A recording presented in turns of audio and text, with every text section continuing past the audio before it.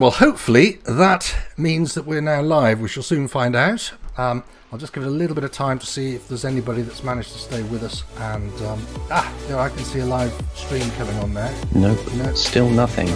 It is showing me as live here, and it's showing stream status as good. And I can see what we're, I can see on the preview on on YouTube that it's all going. So that's the extent of my um, my Boomer technology. I think we can safely now say that Vox Pop's first live stream was a resounding 0 out of 10. My apologies to those of you that attended and were frustrated by the boomer tech that I exhibited. Thankfully, we now got that sorted, but in the meantime, here, without further ado, is a recording with the illustrious uh, Mr. Simon Roberts. So um, let's go over now to that recording, and I hope you enjoy it. Simon, apologies for that. Uh, welcome and good evening.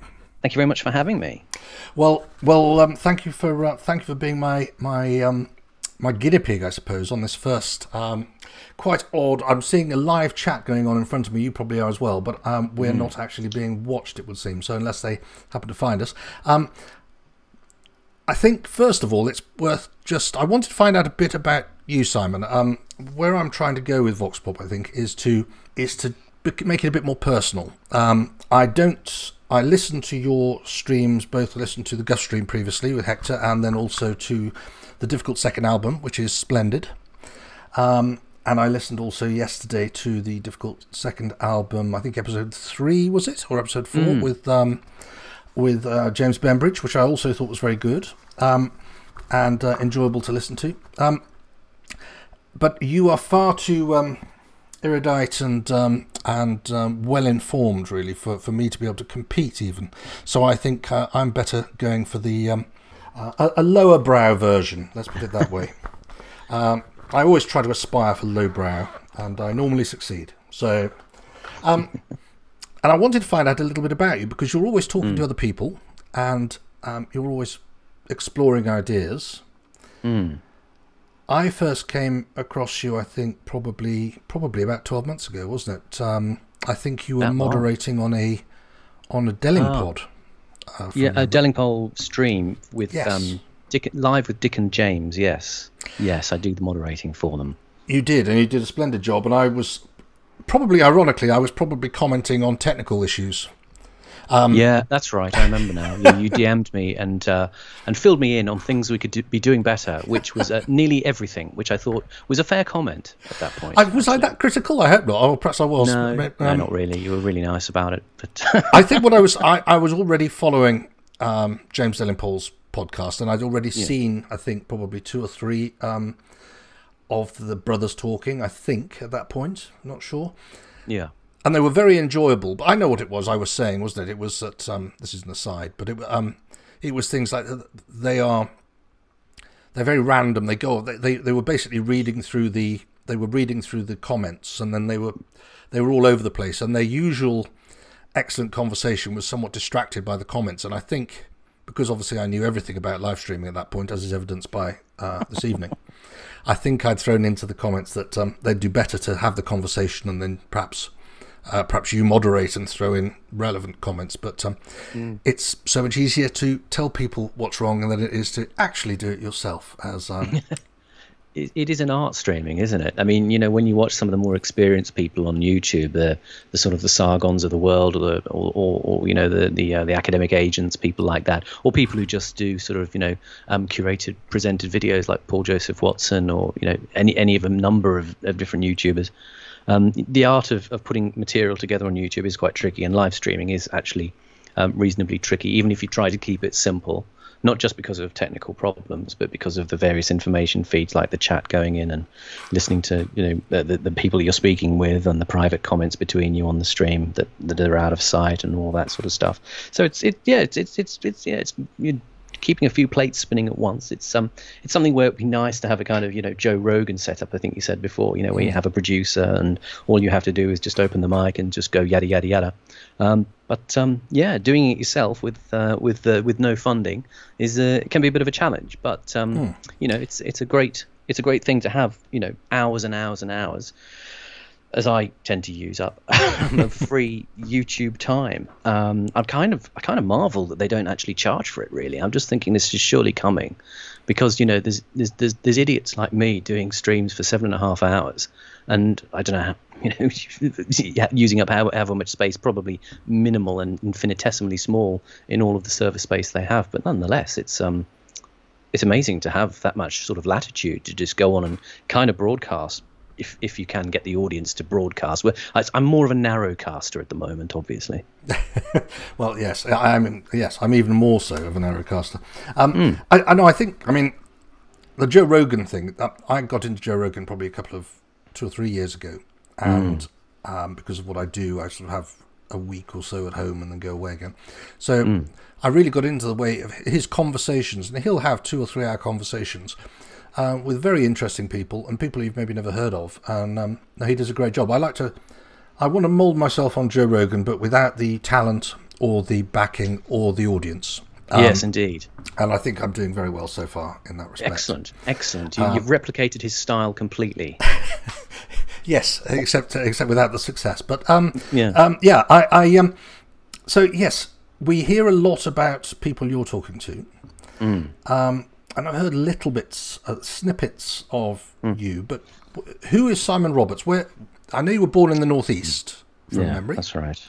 So would yeah, you like to tell right. us uh, your, the early days of Simon Roberts? Oh yes, as as Charlie Sheen says in the 1987 film Wall Street, "Who am I?" Um, I was born in Hartlepool. Uh, in the northeast, in County Cleveland, as it was then, as I think it has returned to uh, after an interim of being County Durham. In 1971, my father was an ex merchant navy um, chief petty officer, and my mother worked in various positions in the local civil service.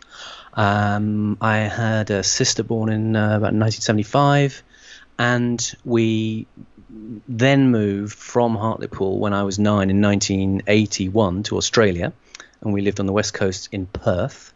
And I stayed there for about 13 years. I came back to England at the end of 1994 back to London to uh, seek my fortune on the stage, which, which uh, as it turns out, I, I signally failed to do. Um, I, I wanted to be a classical Shakespearean actor, and I came back to London and auditioned for the drama schools um, with without the important proviso of having any of the money necessary to pay the fees. I thought this was a, a cunning trick on my part to induce sympathy and uh, you know possibly get some sort of you know local authority funding or a grant or some sort of bursary or scholarship. Um, those sorts of things, alas, um, had by that point completely evaporated. Probably a couple of years before I came back. So I think you know probably when you know, you were of the same sort of age, a few years uh, before me, you may have had like uh, local authority funding for things like that, hmm. but um, it had all gone. So I, I, sort of was doing these auditions, and they were kind of going, "Oh, very good. Um, you know, how are you going to pay the fees?" Uh, because the fees for these drama schools were like fifteen hundred quid a term, which um, was a considerable amount back, back then, and and and London was a very expensive place to live anyway and um, I would just sort of go, oh, I, I, thought maybe you'd have some sort of scholarship, you know, to, to help me study at the the most famous drama schools in the world. And they just shook their heads and said, no, no, not really. That's unfortunate, isn't it? I mean, it's uh, bad brutal. timing. I, I uh, when would that have been exactly that you came that back? Was, yeah, that was 1995. I settled in London um, with my then girlfriend in Cricklewood and um, was, you know, making my way through you know the day with a you know a job temping in an office uh, during the day and working in the bar in the Victoria Palace Theatre in the evening, um, which was at that time hosting the musical Buddy uh, interesting. Um, so um, I sort of, you know, plodded along after, you know, going through all of these auditions and ultimately, obviously, realizing that I wasn't going to get anywhere because there wasn't any funding. I mean, again, people have to remember this is pretty much pre-internet days where getting access to information was a question of, you know, literally writing off uh, to places for things. And, and given that I'd been in Australia, you know, um, you know, you could you could send off a letter to Britain, you know, and, and not receive anything back for ages.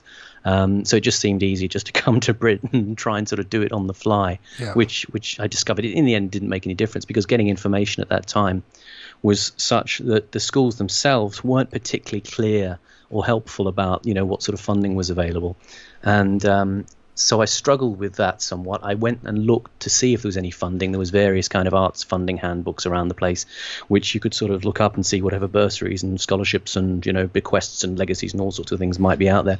And it didn't turn out that there were any available for people to go to drama school really. Um, so that was uh, kind of the end of that. I didn't see any way I was going to earn the kind of money that I would need to to pay drama school fees at all.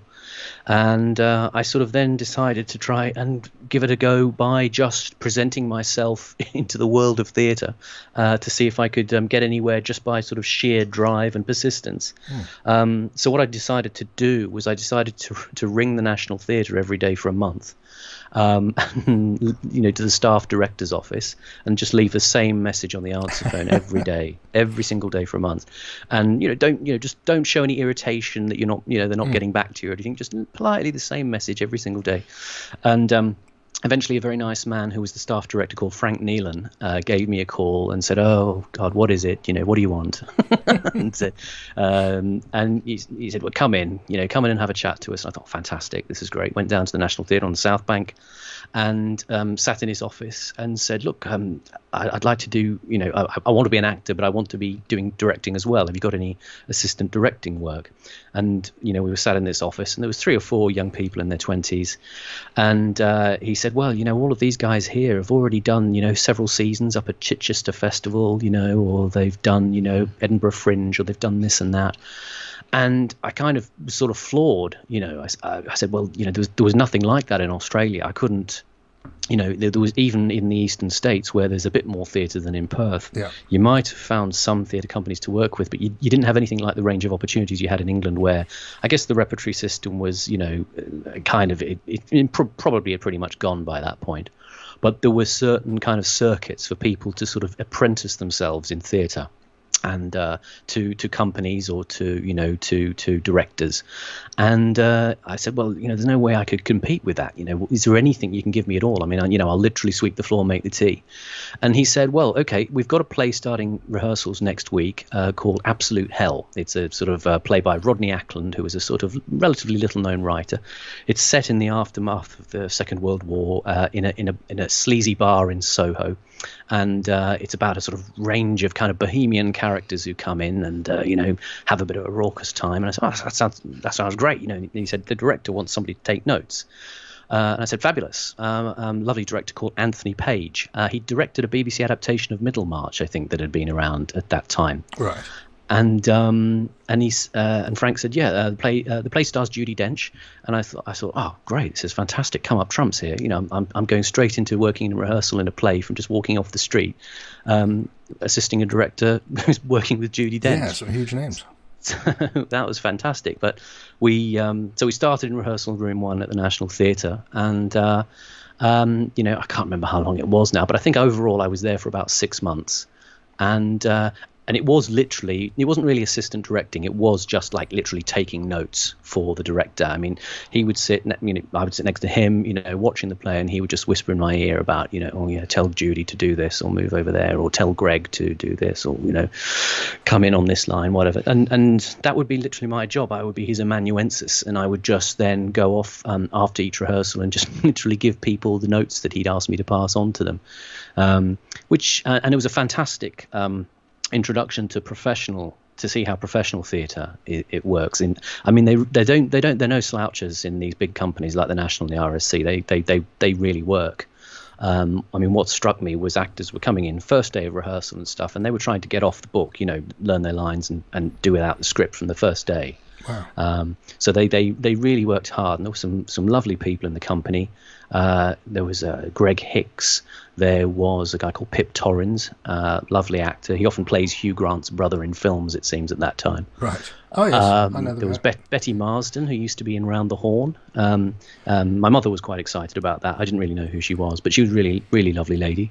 Oh, that's that's covering a few generations there, isn't it? Yeah, yeah, yeah. But um, there was uh, there was who else was in the cast? There was uh, uh, Bill McCabe, uh, or Richard McCabe, his real name is, but he calls him Bill. Uh, lovely, lovely character actor, and. Um, and uh, yeah, it was it was a, it was a really terrific time. Um, Brian Cox's son, Alan Cox, was in it. Mm-hmm. Uh, David Horovitch, lovely show, and it was a brilliant show. And of course, Judi Dench, and and got to see them working close up, and um, it was fantastic. It was it was really great. I mean, it was a kind of pretty gentle introduction to things, and it is a bit weird when you have to sort of you know give professional actors their notes after, you know. I mean, luckily they were all incredibly gracious and kind people, and and didn't take any kind of um, you know umbrage at the fact that it was me you know telling them what to do. But it is a weird experience, you know, telling Judi Dench what what what she, what she has to do in yeah, in, uh, yeah. you know.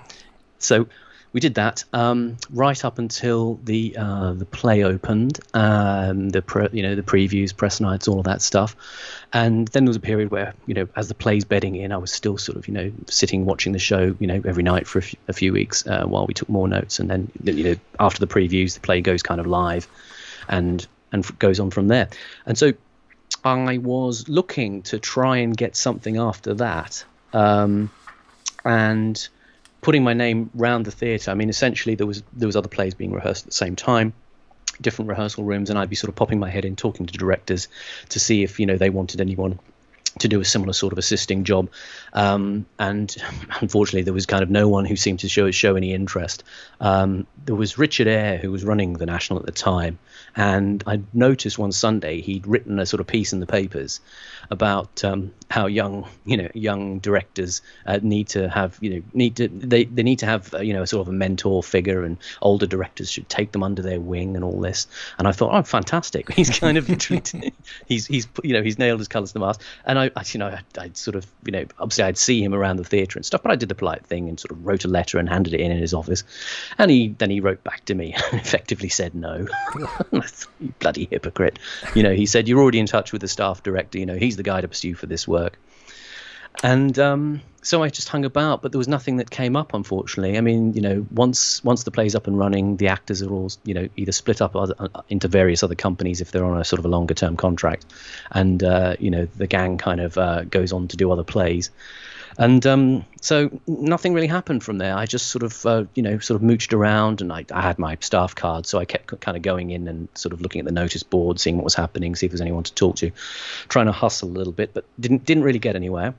Um, my girlfriend was having a bit more luck at the time doing fringe theatre and getting involved with various companies, and I would sort of end up helping out on plays, um, doing doing little bits here and there and uh, you know trying to sort of drift in through through another angle into the theatre world. Mm-hmm. Um, but it was um, it was it was really very difficult because you really need in order to get into professional theatre you need to have an agent and of course I didn't have an agent so I tried subscribing to various actors newsletters and things and you go and do auditions at little fringe theatres and I remember going to do an audition at uh, you know a little tiny theatre in um, well, oh God, where was it? It was it was somewhere like near the. Uh, uh, anyway, doesn't matter. Shepherd's Bush, I think it was, and it was like it was like a tiny little space, about six foot by two foot, in front of a bar. Right. it was kind of almost like the amount of space a stand-up, less than the amount of space a stand-up comedian would use. And I had to sort of audition for you know a role in Henry V, you know, in this little dark, tiny bar. It was really, really weird, and um, uh, and of course people treat you if you haven't gone to drama school with a certain amount of caution. Uh, you know, um, and I went to various of these fringe theatre auditions, and I went to one at the Man in the Moon Theatre, which is on the King's Road, um, just at the end of the King's Road, opposite where Vivienne Westwood's shop is. Um, and uh, they used to have a little sort of below ground theatre, and it was quite a reasonably well liked theatre. And uh, I uh, went in there and did did uh, did an audition for something, and I was chatting to a guy who was doing an audition with me, and he turned out to be uh, a guy he's, he'd gone to drama school with Daniel Day Lewis, and uh, I was saying to him about, oh, it's, it's really difficult, you know, I can't get into drama school, you know, but, uh, you know, I, I'd um, done a lot of university plays in, in Western Australia when I was there. You know, I'd, I'd played Richard II and I directed the play, and I'd been in Love's Labour's Lost. Um, I'd been in, you know, I'd directed a production of Henry V, you know. So you've still got a CV. It's not like you're coming straight in with yeah. ambition and nothing else. You've, you've... Yeah, I just, I, I, I just did a load of plays at university in lots of different styles, not just Shakespeare. We did sort of Polish impressionist theatre from the 20s. You know, we did Tom Stoppard, um, Brecht, all kinds of stuff. Great fun. And um, so I had a few things that I'd done. I had the you know the energy and sort of zest to, come and do more. And you know I said, look, I, I can't do the training, but look, here's my ability. And and when I'd done plays in, in Western Australia, we had the guys who were the teachers and the principal at the local uh, acting academy in, in Perth. And uh, this was the West Australian Academy of Performing Arts, WAAPA. And at the time, you know, I had friends who were at WAAPA who were doing theatre or musical theatre and it was the same time that Hugh Jackman was there. So I, I, I met Hugh a few times before. Mm-hmm. You know, he went on to become super famous and stuff. Yeah. He was just he was just nice old Hugh at the, down at the academy. Um, and uh, so I had a few of those guys from the teachers come and see uh, a production of Richard II I did, and and afterwards, you know, had a chat with them, and they were very complimentary. They were like, "Well, you, you, you don't want to sound big. You, you're really good, you know." And the, the, the acting teacher, uh, Nigel Ridout, who'd been, uh, I think he'd he'd worked at LAMDA in London, said, "Yeah, I don't think there's really anything I can teach you about Shakespeare. This is, uh, you know, very solid." Uh, they said, "You know, maybe you could do a little bit of movement work or something. You know, limber up a bit. Mm-hmm. You know, free your, you know, your physical style. But apart from that." Um, you've got a good voice, you know, good stage presence, you know what you're doing. Uh, and I sort of got a bit of a big head from that. Um, and I, I, thought, well, I'll just go to Britain, and then you know they'll just give me roles at the Royal Shakespeare Company. You know, I'll just walk in there, like you know Kenneth Branagh or something. And well, um, it happens though, doesn't it? That's the thing. Sometimes you can yeah. just it works. You know, how, did, how old were you then? I was uh, well. I would uh, 1995. I would have been what uh, 20. Uh, I can't remember my own age. 23. Right.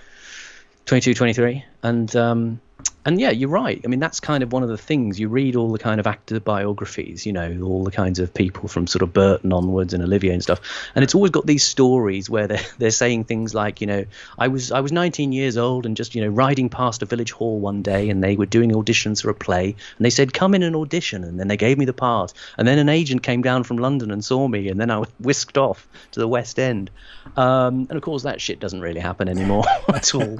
So I was kind of um, I was at this, uh, you know, at this audition with this guy, um, and uh, you know, I'd, I'd said to him, well, yeah, you know, I, I, I had these guys come and see me who were professional drama teachers and said I didn't really need to go to drama school, you know, uh, and the guy sort of looked at me in a pained way and said, oh, Simon, you know, you don't go to drama school to learn how to act. You, you go to make connections, you know, you go for the networking, you go to get an agent. Yeah and uh, that's a mark of how naive and stupid I was. And I said, "Oh yeah, okay." I think that so, works uh, with everything, doesn't it? I mean, that works with you know if you go to Oxford yeah. or Cambridge, something that was never explained to me when I was um, a kid, when I was doing my A levels or O levels and then A levels. It, I thought, well, you know, does it really matter that much? I, I, really didn't try. I'm not saying I would have got there, but you know, I certainly mm. didn't try for it. And then it's only afterwards when you, you realise, well, of course, it's not necessarily the course you're on, but if if yes. your peers are now in the government, for example, um, yes it you know it means that all your other peers are in serious positions, aren't they, in whatever field yeah. they've gone into. That's yeah. it. Yeah, yeah. yeah you don't, and that's never explained to you, is it? You know, no. it's like the transition from school when you've you know you come out of school and you've got all the energy and talent and spunk and all of that everything I mean, lots of people have got that they're just it's between school and university they're kind of a, a peak of energy and enthusiasm. And nobody kind of sits you aside and says, look, you actually need to go through a certain professional gateway in order to get where you want to go. Yeah. Um, and, you know, I confused going through the professional gateway with learning competence in the art. Whereas actually, people should have said, no, no, no, no, mate. It's it's all about the the handshaking and the networking and all of that stuff. That's, you know, that's kind of the thing you actually need. You need to go and glad hand these people and and you know, put yourself around. And um, I just thought I was under the weird impression that you know you, you, your energy and your talent alone would be enough to sell people. Of course, it isn't, and people do need to be shown where to sort of head to actually get their kind of spurs. Yes, I mean I think even it because the other thing is I, I'm understand, you know, later in your career and, and you know, even now when I'm doing what I'm doing, whatever you do, a lot of it is about who you know and not necessarily what you know. You know, you can obviously you have to be competent in order to get more work, but um, who you know really helps um, at any age and in any career. But when you're young, it's not like it's because I find it really tiresome going to lunches, and I don't mind going mm, to a lunch yeah. with friends. I, that's one of my favourite activities. But um, yeah. going to a lunch with people you don't know and you perhaps don't really like is really hard work, um, and I find that very boring. But of course, when you're at university, you're mixing with people you like. It just happens that those people that you like or you got on with or you know on nodding terms are suddenly in um, positions uh, Yeah. that are important later in Yeah. life. So Yeah. yeah. Yeah. And to be fair to myself, I didn't have any kind of connections over here. I'd just come, you know, on the sort of s- smell of the grease paint and the roar of the crowds, um, assuming that you could inveigle your way in. But I mean, what I eventually learned, of course, was that, you know, unless you'd been to one of what we call the big four drama schools, that's either, you know, RADA or Central or Guildhall or Drama Centre, um, or you'd been to Cambridge, um, or maybe in a minor key, Oxford as well right. um, you, you you weren't going to get anywhere. You weren't going to sort of land on the scene because there were accepted channels and pathways that were the only ones that were being looked at for professional access to, to these places. So, you you the, the age I think of, of apprenticing yourself as I thought may be possible because lots of older actors and directors had done that had had just gone. It, it was just dead, um, and and it was very difficult. I mean, I my sort of you know in persistence with the national is kind of the, the kind of freak trick that got me a kind of you know um, uh, a job the unpaid job for, for six months um, but um, you know it wasn't going to translate into anything afterwards. So I, I ended up sort of uh, mooching around in fringe theatre for a few years trying to do, sort of find things to do get involved with things. And you end up sort of without any acting work you end up doing am, amdram theatre amateur theater and um, you can you know you can get a bit of activity out of it but it's it's kind of not leading anywhere because the professional scene doesn't really look in on any of that stuff at all Yeah. uh, and um, again it's only the kind of good luck stories that you hear about but the good luck stories there's always a bit more to it you know somebody knows somebody they're doing an amateur show and then you know their their daddy's friend is an agent and comes and sees it and then takes them off and, and that's it so unless you do your, your three years in a in a you know expensive drama school which requires independent wealth or you have come through Cambridge and that way is more of a direct um, getting into the directing stream you you will struggle. Um, and the only other way you can really make it is to sort of bang your bang your hand on the bang your fist on the doors of all the fringe theatres, try to get into shows, acting shows, and generally it takes around ten years from coming in as a kind of untrained actor to get noticed. So the people who I met, later met at professional theatres after that had generally, yeah, had to sort of just be around the traps for about ten years and then eventually something would happen you know just by dint of the time it had taken and you know the probabilities involved and they would do a show at a fringe theatre and then maybe someone from the rsc would come and see them and offer them an audition. Um, so i did that. I lost a lot of momentum during it and i, I couldn't stand the insecurity because I was on and off benefits at the time, uh, trying to uh, you know keep my head above water because, as I said, London was was pretty expensive, Oh, and um, so I just decided to sort of do temping work, and then eventually it took over. And of course, as a little bit more money comes in, you end up resting on the, the security of that, and in my case, kind of losing momentum in terms of the theatre stuff. So I ended up uh, sort of working in various different kinds of offices for, for charit- charities. I worked at the Terence Higgins Trust for a while, the Leonard Cheshire Foundation, various other places. Um, Channel 4 for a period. Uh, that was quite interesting because I got tasked with um, um, filing everybody's personnel records. So I had a little had a little look at what people were. what, what, there was some, what the way they were. You know, there was some astonishing things there. I mean, you get like you know you know, 25 year olds who'd gone to Cambridge working at Channel 4 as basically sort of junior commissioning editors, and they'd be on like a hundred grand a year or something like that. It would be just crazy money, and I would just think this is beyond my wildest dreams. But you know, they would all be called Sebastian and Charlotte and all this kind of Yeah, thing. yeah. And you would just know that you know that was. I mean, I don't want to sound like a kind of you know chip on the shoulder thing, but it is a chip on the shoulder thing in a way, in the, the sense of the the educational system. If you are pitched at the right level, will get you into opportunities, just by having that. Um, that pedigree uh, in order to get that kind of entree into that world and those connections. So eventually I ended up, the RSC, the Royal Shakespeare Company, was advertising a job in publishing. And I'd done a bit of publishing stuff during my temping, and uh, I went and presented at the RSC. Lovely lady called Kathy Elgin, and uh, I, I ended up working there for a couple of years at the Barbican. Um, sort of, I, it was a weird combination of experience of having publishing experience and knowing a lot about Shakespeare. Um, and I did that, um, and we you know, it was an interesting time working at the Royal Shakespeare Company, but I got to see from, you know, the point of view of the other major national company how how the business really worked for actors. And what tends to happen at the Royal Shakespeare Company is you have an ensemble company. I mean, let's say it could be between, I don't know, 30 to 50, 60 actors or something who are taken on every year. And they get given what's called a player's cast contract for 18 months. So that means, you know, if you're a young actor coming out of drama school and they audition you, give you a player's cast contract, you might have three roles in a season. Uh, and generally, the pattern was you'd be doing pretty, pretty minor league stuff. Uh, you know, like in, in two of the roles, you might be bringing on a chair or something, and in, in, in the third role, you might have a couple of lines.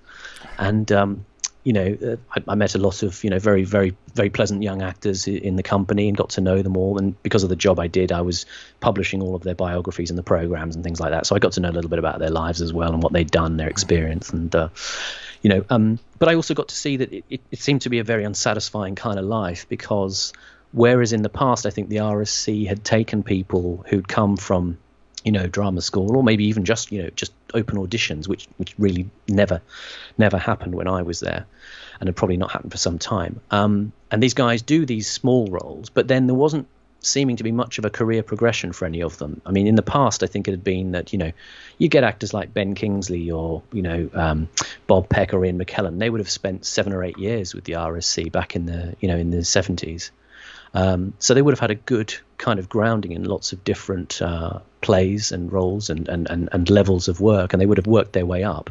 And and then generally, you know, once you've become notable there, you might get your first TV roles at the BBC, things like that. And um, as I said, that wasn't really happening by the time I'd got there. In fact, a lot of these young actors were kind of just being churned through, and then the end of their 18 months, you know, some of them might be lucky and get another 18 month contract, but again, it would be the same kind of um, spear carrier things, and they wouldn't sort of go anywhere from it. Mm. And I thought, well, this is it. The company had kind of lost its family ensemble feel, which it used to pride itself on. And the sense in which people grew uh, and, and did better and were able to aspire in the company had just vanished. They were really looking at saying, look, we've got this play to do. Let's get a star in, or at least you know a relative speaking star in the theatre. You know, not necessarily someone who's massively widely known outside theatre, but we'll get the sort of lead actor in and then just cast a bunch of people who are supernumeraries who, who, who ultimately are not really going to go anywhere with this, you know. So they'll have a good time, you know, being with the company up in Stratford. You know, they do the you know the initial summer season. They do their three plays in rotation in repertoire. So they're very busy. They're working very hard, and then they get to spend the evenings off at the Dirty Duck pub. You know, and you know sit, sitting by the river having fun and, and living an actor laddie life. Mm-hmm. Um, but it's quite sad that at the end, you know, some of them just, you know, just, they don't come back. They just get binned, and then they move back into trying to get jobs in in the fringe again, and um, you know, hustling or going off to Edinburgh or stuff like that. And it's it, it wasn't quite a you know um, a thing that I thought I really wanted to be part of. Um, yeah. It just it just felt very you know, like a, you know, Muck Shakespeare in a way. I mean, that sounds terrible, but the technical excellence of the company is undoubted, and especially the technical people of the company, you know, everything from the lighting people, the stage management, the costume people, the designers, the armorers, all of that stuff is brilliant. I mean, the, the skills are incredibly impressive in house. Um, and that still retained a lot of the family feel of the company that it had had. You know, people who'd been there for 20 years or so. Um, and that was really nice to see. Um, but with the actors, it was completely disjointed, and, and, and so you you didn't get that continuity any longer, and that sense of people growing up with the company and doing well. So eventually, I got made redundant um, in 2002 because the Barbican decided to uh, the RSC decided to leave the Barbican and go as a kind of um, traveling bunch of players throughout yeah. various other theatres, and a sort of slightly misguided thing. Yeah. It was called Project Fleet, and they decided there would be fleet of foot and they would you know use theaters in the west end or use theaters here and there and go off touring in america and at that time they were getting into bed with lots of bigger money because um, the revenue that they'd had from running les miserables had sort of teetered down to virtually nothing. So they had to sort of get lots of American philanthropists and foundations to invest in the company, and uh, and s- start chasing some some some uh, some moolah, and um, which they did. And uh, of course, I was I was off on my ass again, try, trying to sort of find a, a way back, perhaps into theatre. Did a little bit more fringe stuff, and then it it just didn't go anywhere. And so in the early 2000s, I took a job in the NHS, and I worked as a as a as a secretary, medical secretary for um, very eminent gastroenterologist at King's College Hospital, and um, you know stayed there for four or five years, and eventually um, decided just to become self-employed, doing the same kind of thing for for uh, for a considerable period of time, about 16 years. Right. and uh, and then you know so didn't didn't kind of make it unfortunately in terms of the theatre world again I did bits of Amdram and stuff but um, I, I I think it's not unfair to say I grew increasingly bitter uh, about my failure Well, it to, sounds hard. I mean, I, I yeah it, it is one of those. It's a pretty brutal um, um, career to have, isn't it? And I mean, even if you're even if you make it and you're successful, you can be thrown out on your backside very quickly. You can suddenly just disappear out of um, out of favour, can't you, with the public? Um, I mean, did you? How is? Were you ever interested in things like um, more sort of populist um, sort of TV stuff? You know, the EastEnders stuff and things like that, or was that something you weren't really interested? in? again it was kind of all closed off what if you didn't have an agent you couldn't get the, those sorts of auditions or, or jobs. Right. um, and so it was a it was always a catch 22 you know if you hadn't gone to drama school you couldn't get an agent you know uh, and uh, you know if you couldn't get an agent you couldn't get a job. So that was pretty much it. You, so you had to you, you could try and sort of persuade people that you were worthy of being on their books as as as you know having their agent having you uh, their agent uh, having being on their books as yeah you Yeah, know what I mean I know. uh, and um, but it was it was it was difficult and hard to achieve. Lots of my friends who were acting would would do kind of various things, like the Cambridge Shakespeare Festival was one route, and it would kind of be you'd all go down to Cambridge for a season in the summer, do some Shakespeare plays, and then maybe maybe maybe some people get agents out of that. Um, I wasn't in a position to be able to do that because I was kind of landed with my flat in London, and it would be very difficult to come back and find another if I kind of had to give it up and go down and, and, and work and live in rehearse in Cambridge. And I just wasn't in the chips enough to do that at the time, so it was it was kind of impractical. Um, and and there's always been an expectation that actors will live a kind of sort of peripatetic life when they're younger and go around the country doing various things. But I didn't have enough financial security to be able to do that. And the friends who did had living situations which were a bit more conducive, or they had partners and stuff, or whatever. Um, and I was on my Todd by then, and um, so uh, I couldn't sort of see it um, happening uh, for me uh, at that point. And TV stuff again, it relies on that whole intro to that world through the professional uh, context of, of, of having an agent. Um, so it wasn't a question of you know turning down work because being being too grand. You just didn't know how to get at the work. You know, Yeah. you, how to present yourself to the people who were casting. Um, and even though I'd, I'd met people at the RSC, uh, you know, and considered it, I mean, to be honest, they didn't take you seriously if you came back after working at the company and said, "Look, would you audition me?" or something like that. They just they just weren't interested.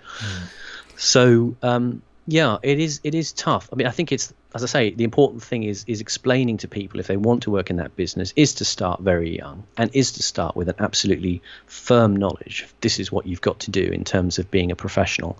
You can't translate your enthusiasm, you know, as a, as a gentleman amateur, you know, into um, into being a professional actor. You you have to have something there, and uh, so yeah, it didn't it didn't happen for me, unfortunately. Um, I tried various things, setting up my own company. I did a production of Richard III, um, which kind of was kind of weird. It, we did it um, in a in a sort of a, a crypt, which was under the motorway in Wimbledon or Merton, and it was like an ancient um, site of an abbey, Merton Abbey Right.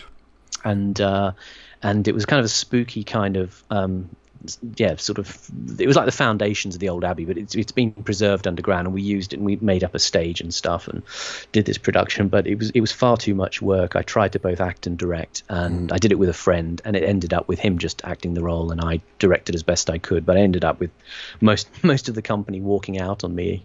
Well they, no we did we did the little short season and so on but um, they all kind of hated me at the end because it was just really, really stressful and really difficult to keep it together. Um, Very tough. I mean, the thing as well is, I, I was going to ask you um, Yeah. earlier, how do you, because if you've got into somewhere um, and you've got a little bit of a break and you've come in um, Mm. doing notes, as you say, with with uh, with the director, and Yeah. you're seen on that side of the, I was going to say camera, but on that side Yeah, of yeah, the yeah. You know, audience um, yeah, divide, the footlights, yeah. yeah, then it must be. Is it difficult to then? Are you then classified Yeah. anyway as being right? You're one of those There's- people. the- yeah, there's a profound lack of imagination. I mean, at the time, I was kind of following the example of someone like Kenneth Branagh. I mean, I, I kind of hated Kenneth Branagh because he'd been successful. But um, I remember in Australia about 1989, I'd sort of, I was always, I, um, I, my, my acting hero was Laurence Olivier. Yeah. Okay. Big Shakespearean actor, Henry V, Richard III, Hamlet, all that stuff. And I'd walked into a newsagent one day and I'd saw the cover of Time magazine, and there was this young actor called Kenneth Branagh on the cover playing Henry V. Yeah, which and his great, new- did a fantastic job it, didn't he? But um, It I was thought- a, it was a good film actually. You know, I mean, I didn't like it as much as Olivier's Henry V. I mean, there's various technical reasons, but it was yeah, it was it was like considering the time, considering getting the money together, considering he was about 27, 28 years old. Um, phenomenal achievement, and to get all those actors. I mean, he'd played seasons at the RSC, playing Henry V before then, from about 1984. So he'd had some good experience, and he'd gone to RADA, and he had the connections, and he'd, he'd done a good job. The lad, you can't take that away from him. Um, and he was being touted as the new, the new Olivier. Yes. And I was really irritated because I thought I was going to be the new Olivier. Damn. So, I, but he did um, this thing of being the actor director. This, which this is the thing that used to happen back in the days. You know, David Garrick and so on, and Henry Irving. These people who used to be actor managers and run their own company. They would often take the leading role. They would direct the show, produce, and do all sorts of stuff. Um, and he was, and they would call them hyphenates at that time, actor director. And when I was in London trying to say I want to be an actor director, I want to do both things. I mean, the closest person would have been someone like Steven Berkoff, who who did his own shows for years. But um, the, the the profession doesn't really understand that. They'll just say, well, which one do you, which one do you want to do, acting or directing? I said, no, I want to do both. I want to do both of these things. But there's no, of course, there's no context in a company like the RSC. You either are doing one or the other, and you know, you can do it independently. But as I said, it's incredibly stressful and um, difficult to do. And of course, you've got to have the money to do it. To, Well, to, to set up productions. you've probably got to have. I mean, a lot of famous actors, both film actors and stage actors, get to be directors, don't they? But and, and also TV Yeah. actors. But it's normally because they've got the power, haven't they? They're they're the star, so then Yeah, they can turn yeah. around and say, "Yeah, I'm going to direct this, and then I'm going to produce this as well." So Yeah, Um, that's it. people like And- I mean in TV Seinfeld and people like that, or um, Yeah. what's his name in um, oh, what's the other American? Um, one of my favourite ones, Frasier. Yeah, um, yeah, yeah, that sort of thing. So, Yeah. but otherwise, I can imagine if you haven't got if you haven't got if you aren't coming into it with power, then trying to say Yeah. I'm doing these two things. Berkoff, were most of his things one man shows. He, I think he had done some one man stuff. I don't know too much about the history of his career, actually. There's just a few things he did which influenced me. Um, but he led companies. And he did a very famous production of Hamlet back in the Roundhouse in about 1980, which was amazing. And he wrote a book about it, which I found is one of my favorite books. And, and I'd seen him in Australia. He'd come out with a National Theatre production of Oscar Wilde's Salome and uh, I'd you know gone and you know um, met him back you know, in the bar afterwards and stuff, and tried to have a chat with him, and um, and we used to get quite a few touring productions through Perth. Actually, it was quite an international theatre stop off because they had a big festival every year, the Arts Festival, and the favourite thing I'd seen was uh, a, a, a company called the English Shakespeare Company, who were um, it was started by Michael Bogdanov, a director, and Michael Pennington, an actor, who had both worked at the RSC and for perhaps similar reasons were quite dissatisfied with it. So they set up their own touring company called the ESC, the English Shakespeare Company, and they did the uh, Shakespeare history cycle, the Wars of the Roses, from Richard II to Richard III. Um, and it was a fantastic production. It's what made me want to really be an actor. Um, and again, they had, um, you know, they got funding um, through a couple of Canadian bankers, the Mirvish brothers, and they had, uh, you know, phenomenal, phenomenally successful world tour. You know, it was one of the big highlights of the 80s. And um, uh, and again, it was it was kind of ended up being a sort of flash in the pan because it, it- the company lasted perhaps for another maybe another ten years or so, and then it kind of kind of sort of frittered away. Uh, and and you know just didn't do an awful lot anymore. You know, it's sort of um, it, it, companies they say have their own natural life, and it's generally about seven years. Um, you know, companies that go longer than that are you know, slightly freakish, but you know for various reasons they kind of spiral apart and you know don't don't continue. Um, so yeah, um, so yeah, I was just you know having to kind of adjust to this idea that um, the you know the dream of being a, a classical actor was kind of receding, and uh, you know drawing drawing onwards to the you know sort of my early middle age, and um, you know try, trying to sort of adjust to the fact that it probably wasn't going to happen for me, no matter how hard I tried. I think the the theatre in particular is one of the last big bastions of class. And um, if you're going to use the word privilege in this country, in the sense of um, it's it's just largely tied down to people of you know middle class background who can afford to get sent to drama school and then have connections and stuff. I mean, it's no coincidence when you look at some of the younger actors who've come out in the last 15, 20 years, like people like Eddie Redmayne or you know, Benedict Cumberbatch. You know, there's usually a history of people who've basically gone to Eton or a public school, yeah. gone to Cambridge, and daddy's an investment banker. And so that's yeah. the kind of background. It's not necessarily saying that they get strings pulled in that way, but they're in an echelon of society, which means you can kind of uh, accelerate into the business in a way that I saw happen that you would see. I worked at the Gate Theatre in Notting Hill for a while uh, under a director called Mick Gordon back in the late 90s. And I was just basically, again, assisting the producer. And I would see people come through, and it would all be people who, you know, um, let's say five, ten years later, would go on to be kind of, you know, household names in directing and theatre and stuff. Um, and actors as well. I mean, I remember David Oyelowo uh, came and did a show there um, you know, and again, these people before before they become famous, but they mm-hmm. it's it's weird. It's almost like they are propelled. You know, you you find these people come and do a show, you've never really heard of them, but then all the publicity just kind of comes out of nowhere. You know, suddenly they're in articles, you know, in in Sunday supplements, and you know, people are interviewing them and all sorts.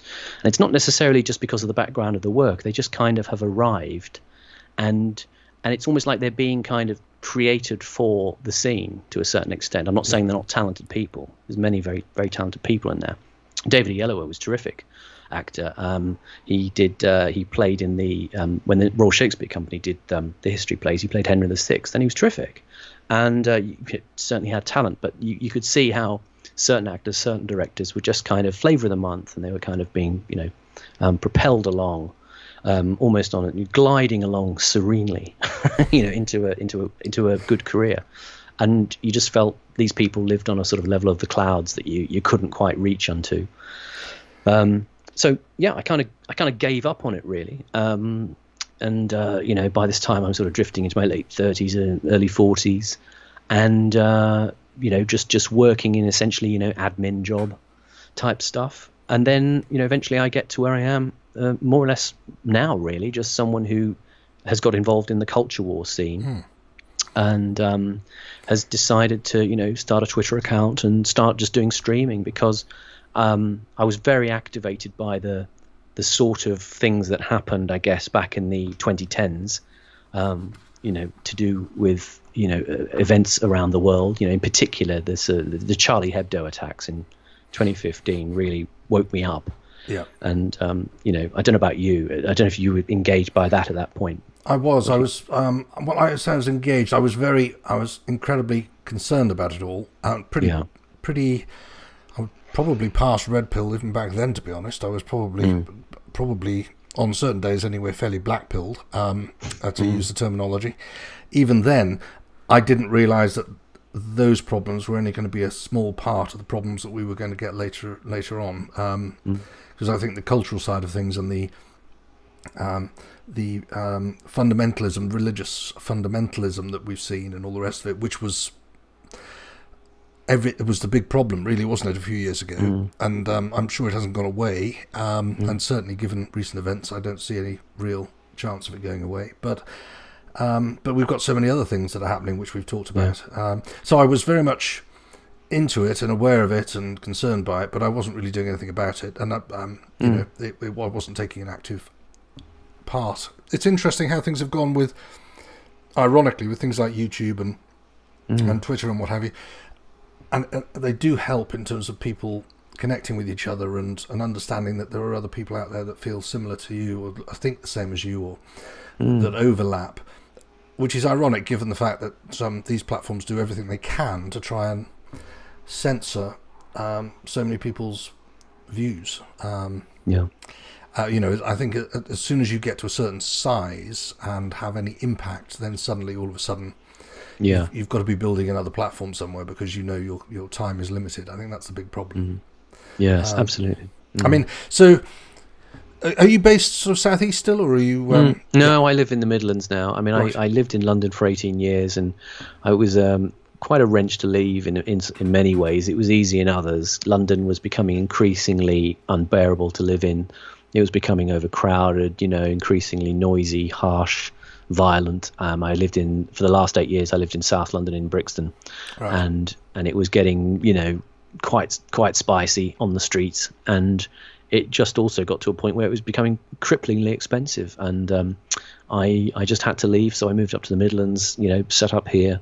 Um, you know, a few years after being here, bought a house, and um, you know, plonked myself down, and you know, I'm just trying to kind of recalibrate uh, my life by engaging in this kind of stuff. Really, it's hmm. it's sort of not not not exactly a calling to do anything like this, but it's just um, you're wanting to engage with it all and just also seeing that sometimes you're dissatisfied with what you're hearing back from these you know social media uh, arenas and and mainstream media arenas and it just provokes you into going look if I want to say something or, or, or try and change something I've got to do it myself. There's just literally no opportunity like I'd learned with the acting world where anybody's going to call you in and say what do you think about this? You know why, why, why don't you why don't you come and do a show or something? And so you just have to do this kind of glorious DIY thing and create, I guess, a sense of a, conversation, uh, as I've often talked with you about, about creating an ecology of interest whereby people who increasingly feel alienated from the mainstream media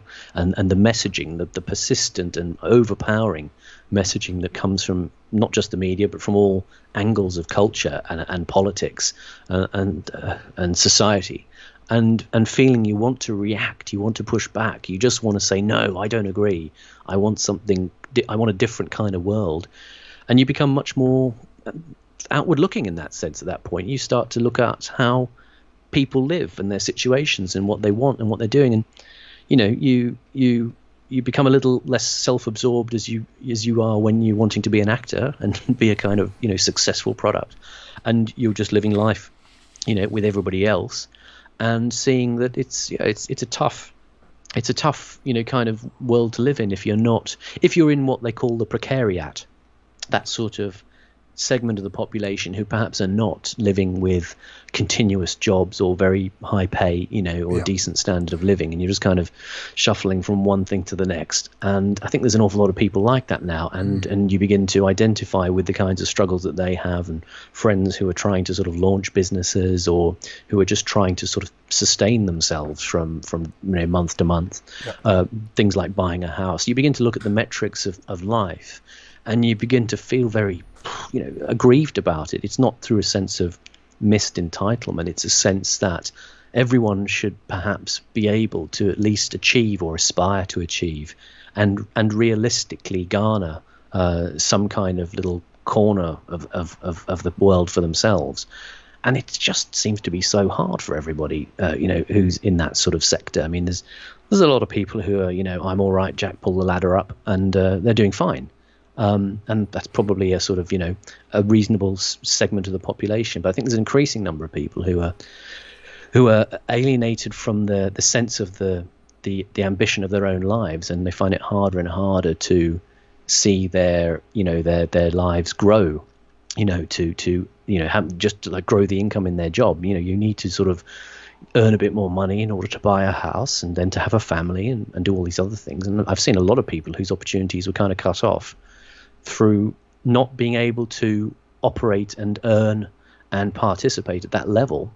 And it's it's also a factor of the economic situation that we've had, whereby we've had a, a glut of unskilled labour, we've had you know the retrenchment of jobs, we've had the exporting of uh, work overseas, the outsourcing uh, of jobs, uh, and and you know increasingly we seem to be living in a service economy. Uh, and one in which there are very few opportunities unless you are very specifically highly skilled in certain niche areas to earn a decent wage, save up, get ahead, and you know just things like as I say, buying a house. You know, um, it's it's many many multiples of, of the the average salary, and, yeah. and even you know the average salary in this country can be a bit of a joke. I mean, I think it used to be about sort of 27,000, 28,000. I, I never earned the average salary in, in all my time in Britain. It was it was it was it was probably an indication for people who were largely working in public sector jobs um, you know, well, I think the the average salary now is probably thirty, isn't it? About thirty thousand. And um, uh, if you look at net, that's probably take home. That's probably two thousand pounds a month, something like that. Yeah, um, right. Yeah. And two thousand pounds a month um, if you've got to pay rent and everything else, it's, it's not like you're living the high life. But um, no, a, a lot of people, of course, are earning. And if you, um, I mean, this last eighteen months, I've been looking around at, at other things and what could I do to fill Yeah. the gaps because I'm sort of self-employed and all the rest of it. And um, I've looked at what everyone else has looked at. A lot of actors have looked at things like, you know, well, shall I go and deliver for Tesco or something? And you look at the. the- Um, I looked into it, and they they will pay you. Um, they will employ you on a zero hours contract. Um, they can't guarantee how many hours you'll have every week.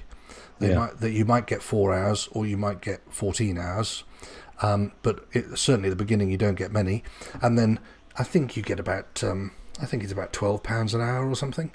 Yeah. Um, and they they'll ring you up um, at Saturday Saturday night at nine o'clock and say right you're on the six o'clock shift tomorrow for four or six hours.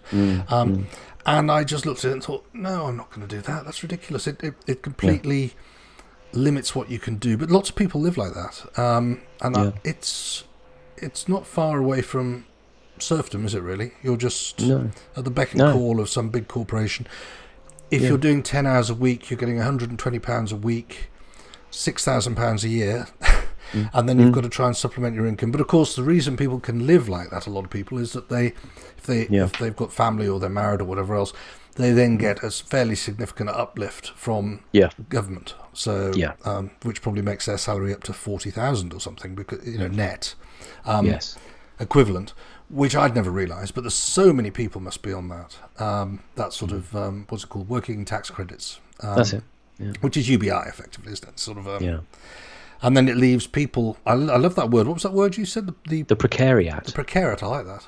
Um, growth a sort of growth sector of people who are just kind of under these average wages you know who are not getting any of these tax benefits who are you know um you know as you say living living in sort of McJob type job situations or being shunted from redundancy into benefits and and back into temporary work and so on. So it's yeah it's uh, you know the job for life thing obviously ended some time ago. Um as I, say, as I say unless you're in certain public sector areas. And of course that's been you know the massive kind of um, um, constituency to which government appeals now. Uh, the you know the Blair government you know created and, and enhanced and consolidated the client state of people who owe their jobs to government, um, whether it was the NHS or whether it was the police back at the time or you know any other public sector or you know um, part public uh, organization you could think of. So and this in itself is also tied into the way a lot of the political agendas have manifested culturally because the kinds of people who are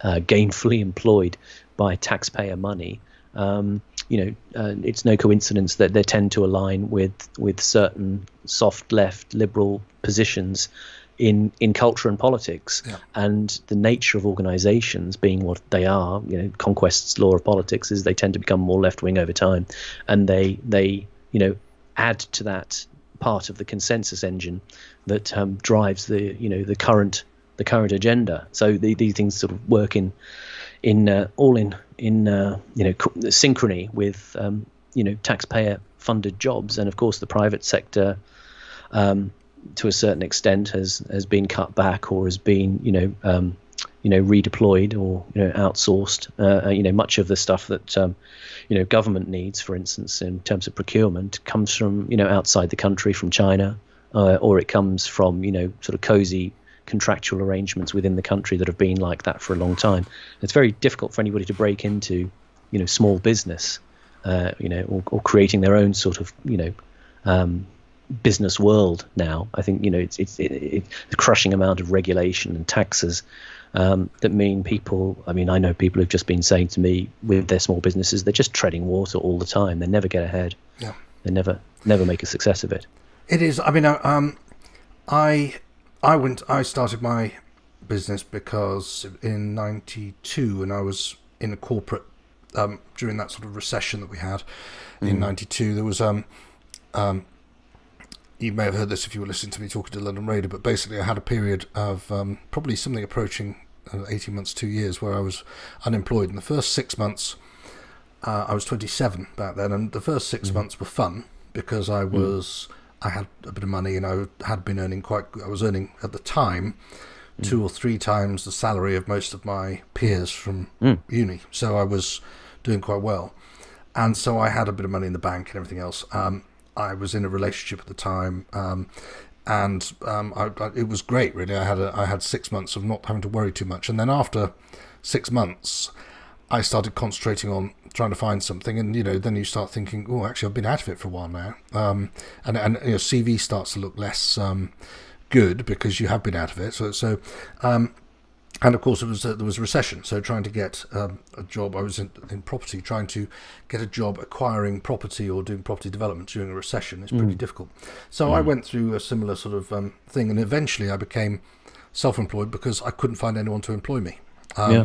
And thankfully, it worked out. It did reasonably okay, but um, uh, and, until I uh, you know basically had enough of it. But I've got friends that um, were are corporate machines, you know, corporate animals, mm. and they work in quite big jobs. Um, some mm. of them, some of them very mm. big jobs, and um, mm. they're, I mean, they're they're articulate, intelligent um, people, good with people, good, you know, very. You could see why they are where they are, but they are perhaps, I'm guesstimating here, they're they're working for big either big or private organisations or public bodies, mm. and they're probably earning they're probably charging as a as a on a day rate as mm. as a consultant about um, fifteen hundred pounds a day, two thousand pounds a day. Wow. Yeah. And you go and they're probably doing three days a week. So mm. what's that? Um, three hundred thousand pounds a year for three day week, and wow. you go well you know, I mean, they're impressive people, but they're mm. not. Mm. Um, they're not that much yeah. better. You know, they're not. You think, well, how how can that be the case? And yet, um, um, we're friends. We obviously have a lot in common, and we, um, mm. uh, you know, we talk and we obviously rate each other. Otherwise, we wouldn't be friends. Um, yeah. And yet, um, yeah, I'm looking at twelve pounds. I mean, again, it sounds yeah. like it, it, it I'm not saying well, I'm I should be due fifteen hundred pounds a day. You know, you build a career, and I sort of bugged out sure. from time to time. But yeah. surely the difference between twelve pounds an hour and fifteen hundred pounds a day for two people that can conduct a serious conversation yeah. amongst each the, the, two of them, um, yes. th- there's something wrong there, isn't there? Um, especially yeah. as a lot of what this particular person I'm thinking of, um, who I, if he if he listens to this, uh, no, he knows I don't. Um, I don't resent any of it. He works very hard, but um, yeah, yeah, yeah. But um, it just doesn't make. There's, yeah. there's too big a gap. There's too big a yeah. gap. You know, I mean, what's yeah. wrong with competent people earning you know, sixty or seventy thousand pounds? I mean, the only people I know of that earn that sort of money now. Mm. I mean, I know lots of people earning hundred thousand pounds a year. Yeah, and um, they all um, they're either head teachers or heads of year, mm. or they work for the NHS in a admin role. Um, mm. But you know, sort of, I don't know what grade you have, but uh, you know, mm. sort of a middle grade or something like that, um, hmm. or middle middle to high grade. Yeah. Um, or I don't know anybody in the BBC, but um, uh, well, actually, I do. I've met a couple of people that work in the BBC, and I suspect they're on sort of you know 80,000, 90,000 or something like that in a fairly yeah. junior role. Yeah. Um, if you look in the Guardian, all you see is jobs on um, sixty to one hundred and fifty thousand pounds. Exactly. Yeah. And they're non-jobs, most of them, aren't they?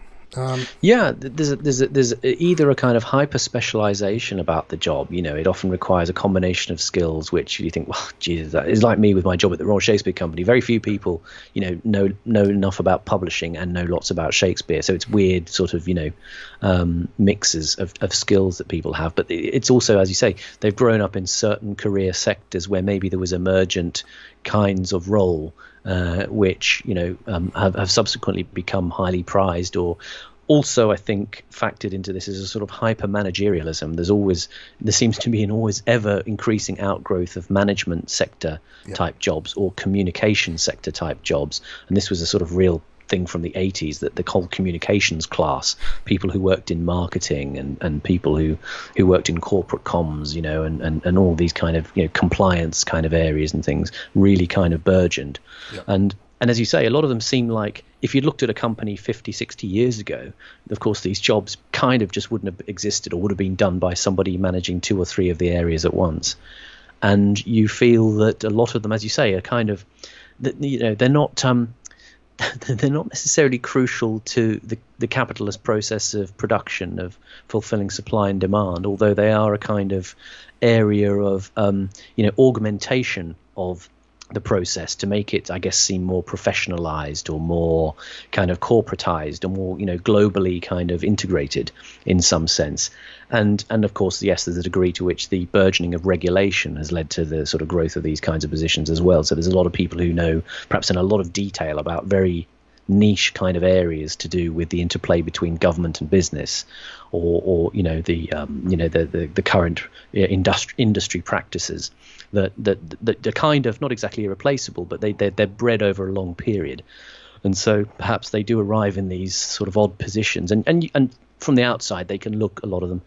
As, as we say, yes, they can look sort of like non-jobs, or there could be very sort of particular, you know, clusters of skills in one person, or or persons that um, you know perhaps are just um, I don't know, you know, they're just very much in in orientation with the the corporate or, or government culture of the time you know, it's like things like diversity officers and stuff like that, that, you know, the classic things that we all sort of make fun of. But, you know, you, you get the sense, not necessarily that these are wholly useful positions.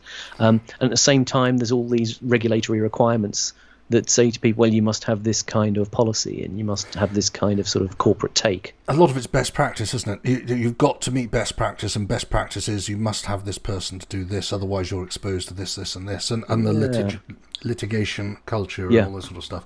I mean, um, mm. funnily enough, today I was just going off topic slightly, but um, um, when I was, I knew we were going to be speaking, and I was just looking through what's happening today and what have you, and I noticed that. Um,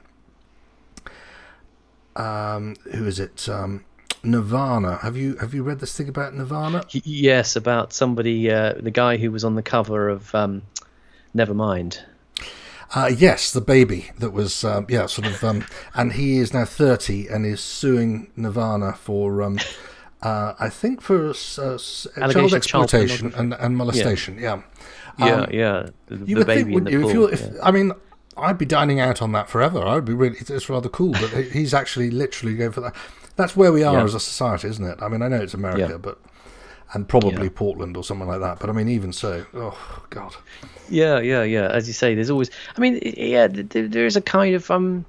Um, it's something of an exploitative culture in many ways, you know, not just in that kind of, you know, very lurid kind of way, but um, in in the sense of people, you know, I- exploiting the continuous growth and propagation of all of these kinds of non-job areas if you see what i mean. You know mm-hmm. you know that you know, people don't have any interest in undermining their own area of business. They want to propagate it. They want to keep it going and they want to you know give it a level of seriousness you know and a level of presentability to the public and and the notion that well uh, this is crucial. This is essential this kind of work. And of course a lot of that gets you know fixed in the public public consciousness as oh well yes yes we must have these kinds of jobs. And you know of course if, if as I say, you brought company directors back from you know 60 70 years ago they'd look at a lot of this stuff and say well that can go that can go that can go that's a waste of time yeah. you know let, us just crack on and you know make widgets and sell them and that's kind of what we need to do it's um, who was the um, the guy in the in the 80s so it would have been perhaps before your time but um mm. uh, the the old english guy with a moustache that wrote a few books on business and he was the original uh, problem solver and um, oh, what was his name? Um, big bushy moustache. Not be able to remember him now. Um, mm. But he was exactly that. He would go in. He was called Digby like, Jones. Was he the guy? No, it was before Digby Jones. It was Digby right. Jones was like his the, the, the, next one in. Yeah, um, yeah. Sir somebody, and I can't remember. I should, really should know his name. But anyway, yes. he, he wrote several books and all the rest of it. But he was exactly that. He would come in and troubleshoot. Yeah. I think he was called the troubleshooter actually. And he would come in, yeah. troubleshoot businesses and it was no nonsense. You know, cut away the fat. Um, yeah. I mean, my uh, I'm old enough now to be relatively cynical on things, um, and mm. uh, one of the things that I look at now with businesses was it um, Sir Harvey. Someone Sir Harvey, um, yes, um, it was him. Sir Harvey. Yes, I know. I know who you mean actually now, um, but it was Harvey, Harvey, Harvey, Harvey, something or other. I can't recall, but anyway, yeah, yeah, yes, I guess some people are probably shouting it, but um, anyway, so he was he was um, very good, but I think one of the at the time back in the well, it was early nineties when I was made redundant. I used to work for. Um, in fact, I worked for what at the time was Trust House Forte, and then became Forte, which yeah. is a big hotel group. and um, that was my first job out of um, out of uni. And um, Mm. So Harvey Jones. so John Harvey Jones, that was it. That was it. Yeah. And um, they were quite a good company. Um, obviously, Rocco Forte was he ran it like a family firm to a large Yeah. extent, and he was criticised when he was taken over by Granada for being on the golf course. And not that that was relevant, but it was all PR at the time.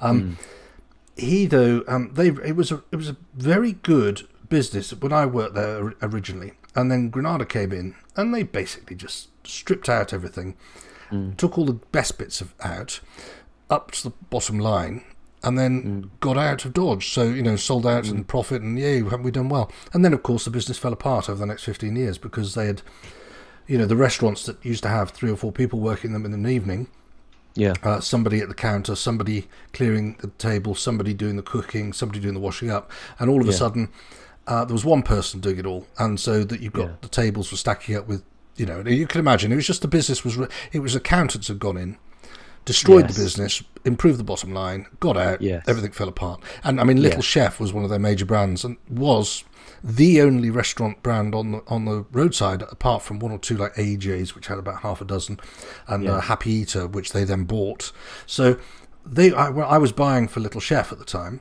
and um, I remember going to my boss in 92 just before I was made redundant and saying um, I there's McDonald's drive-throughs um, I'm I'm competing against that them now with sites Yeah. uh, I think they're, you know, they're, they're obviously a danger. Uh, I did a presentation, I think, actually to the to my director on it, yeah. and they went up to the main board, and it came back, and they said, uh, "McDonald's aren't a threat to uh, Little Chef."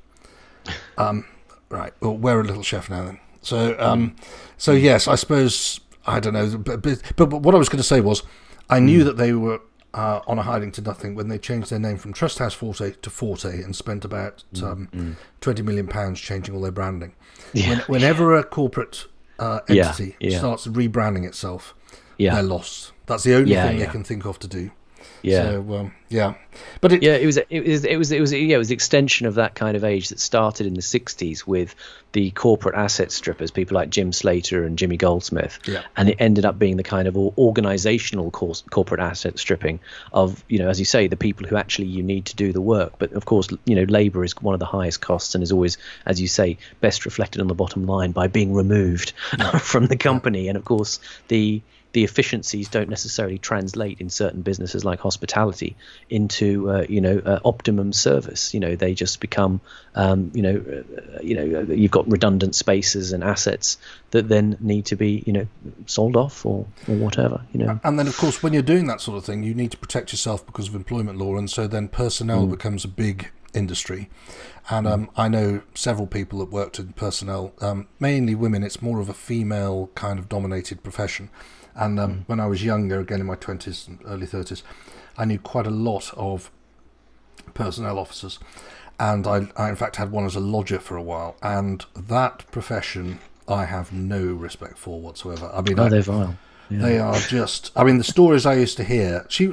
It may, of course, just have been this particular person, but Yeah. she was ruthless, heartless Yeah. and ruthless. She worked for a big corporation where nobody really cared other than doing a professional job, and she would hack people's pensions off them with like one week to go, and some Mm. poor bloke who's like fifty-eight and about to be entitled to a pension, and she'd chop him out because it meant that he didn't get a pension or his Yeah. pension was fifty percent.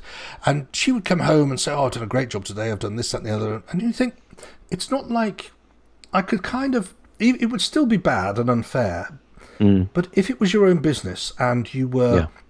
saving that money for your own business and your own family and everything else, you could at least say, well, it's ruthless um, and heartless, but yeah, you are doing it for yourself. When you're doing it for a big corporation that frankly Yeah. doesn't give a damn about you, why would Yeah. you do that to somebody else? I just don't understand that at all. Yeah. But there was a lot of it about at, at that time, and um, and I don't suppose it's any better now. Thankfully, I've been out of the corporate world for a very long time now. So, um, well, it's a relief, isn't it? You don't have to go on any of these courses that people have to go on nowadays to improve their social status. You know, I mean, it, but I think it's a worthy thing to say. You know, there's nothing human about human resources, is there, no. in terms of the quality of the people you meet? Um, but you know, as you say, the corporate culture now is, is is sort of, you know, again, ever more tightly interwoven with the with the demands of you know regulatory compliance with whatever the social agenda is or whatever you know um, regulatory um, constraints are imposed by things like being part of the European Union, of course, hmm. which from which we uh, allegedly have freed ourselves. Apparently but, so. Um, yeah, yeah. The sunlit uplands beckon. Um, I'm just, I'm just not feeling the warmth yet uh, of, of, that. But no. um, and, well, of course, apart from the fact that all the groceries, it's difficult to get groceries now, and everybody is saying that it's Brexit. But I, um, which is I am getting so sick of. But Luckily, I was away for most of the Brexit um, yeah. debate, if you can call it that. Um, yeah, I was um, I was in the states at the time, so I missed. I did vote um, by post or whatever, but I I, I mm. missed all of the lead up to it. But I'm told by my brother that it was horrendous. That mm.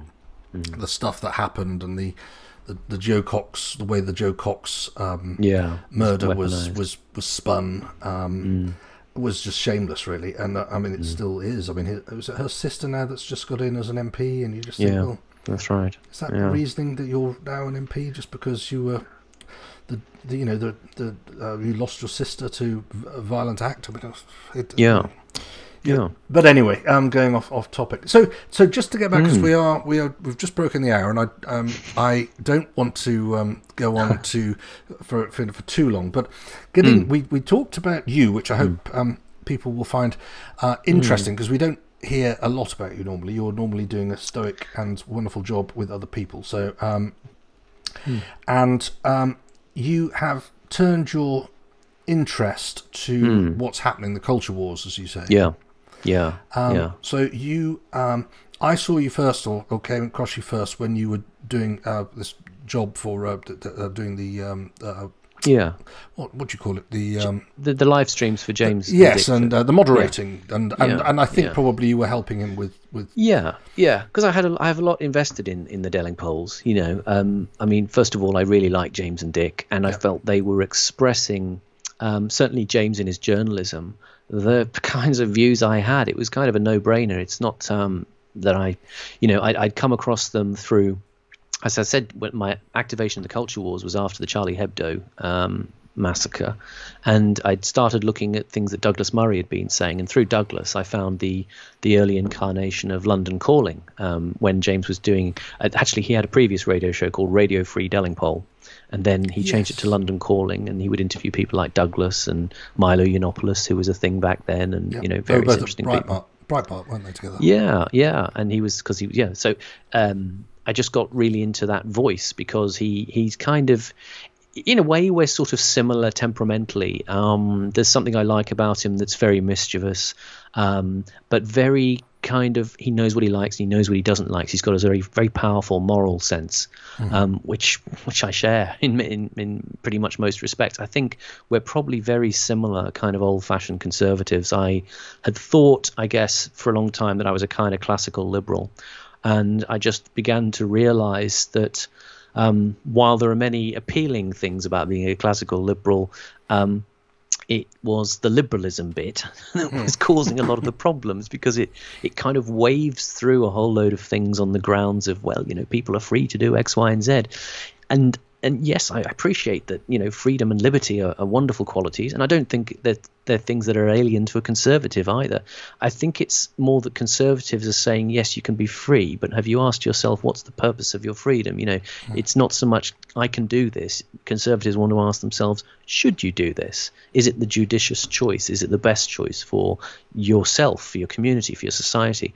And I started to get this sort of sense that actually I probably was lying to myself a bit, that I, I wasn't necessarily all that liberal, although I cling to certain, you know, notions that people think of as liberal. I do believe in people, you know, being able to say what they, they want to say. I, I like the idea of free speech and, you know, being able to choose, you know, have a moral agency.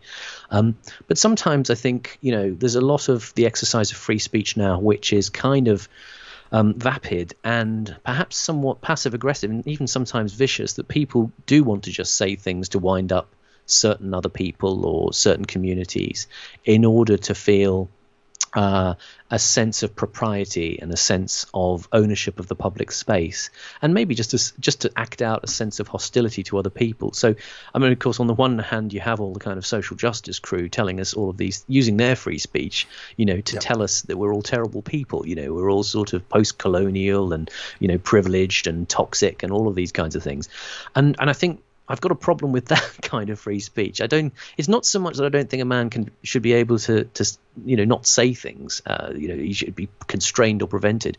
But I think I'm looking for a society where people have a bit more of a sense of moral due diligence on the speech that they're exercising, um, and thinking about how um, it contributes to the the promulgation of certain kinds of culture which are inimical to the society.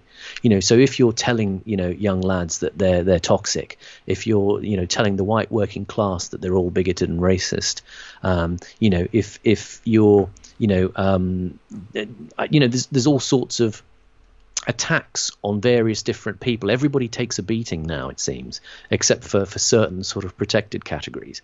If you're constantly doing that, you're reinforcing a sense of people being on the defensive, of being um, paralyzed by by uh, uh, you know fear or by um, a sense of guilt, you know, a sense of original sin that they have to kind of make amends for. And this provides a great kind of um, sort of you know wedge for for people who are essentially the enemies of a society to drive into and begin to split apart the bonds that keep us together as a, a, functioning society. And I think the unit of, of society that best works is the nation. I mean, this is a not you know remarkable or, or original conservative kind of belief, but I think that's the optimum sized unit for people to work in. You know, families, you know, within communities, within nations. Um, the the the whole European Union thing, of course, offended me because I think you can't you can't coordinate societies of varying culture uh, and varying ethnicity in in a sort of you know transnational project like that. It's a kind of it's a kind of mathematical it's kind of an arithmetic logic for a lot of people. It's kind of business logic of, you know, rationalizing a company, you know, and bringing things together and creating economies of scale. But I think the thing about, you know, the free market is, yes, it's it's wonderful that you know capitalism can provide the the um, the the means by which you know we can enhance things like our standard of living and our, our standard of personal prosperity and our ability to enjoy our lives and to do wonderful things technologically, but it's it's increasingly you know vacant of answers uh, about should we be doing certain sorts of things, and and I think we're not questioning things at a moral level enough anymore. I think we've decided that you know any problem can be solved by the marketization of the solution it can be outsourced to the ingenuity of of the uh, the economic system. Yeah. And I think there's got to be a dimension in there where people say, well, yes, of course, you know, we can we can send all this business over to, over to China and do it much much more cheaply, but then we can also at the same time in doing so we can destroy a tradition of manufacturing or or of craftsmanship or of um,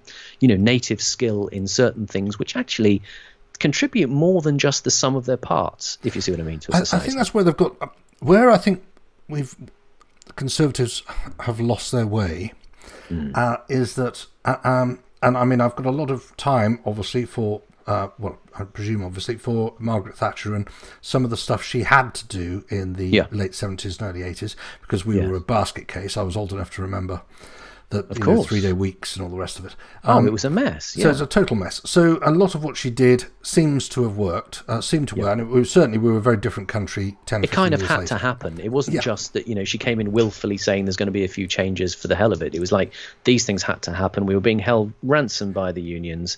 You know, people's standard of living, which in some ways was improving, was also, you know, deteriorating simultaneously. Yeah. yeah. Sorry, go on.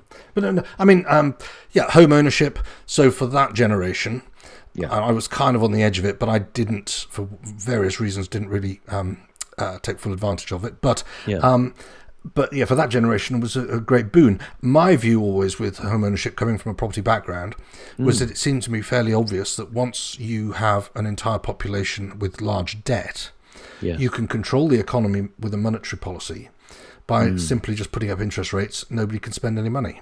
So Yeah. I was quite suspicious of that. Um, the reality is that, of course, a lot of people do very well off it, but now we're paying a price because uh, the average house price is something like eight or nine times the average wage. So, and, you know, there is an entire generation now, uh, many many of which will never get onto the housing ladder until something changes. So, so there's that. But where I think I was going with it, with this was that I think conservatism and capitalism were hand in hand, but somewhere along the line, we we kept the capitalism uh, and we've lost the conservatism. So Yes. the fact that um, it used to be that if you were um, a wealthy industrialist, Mm.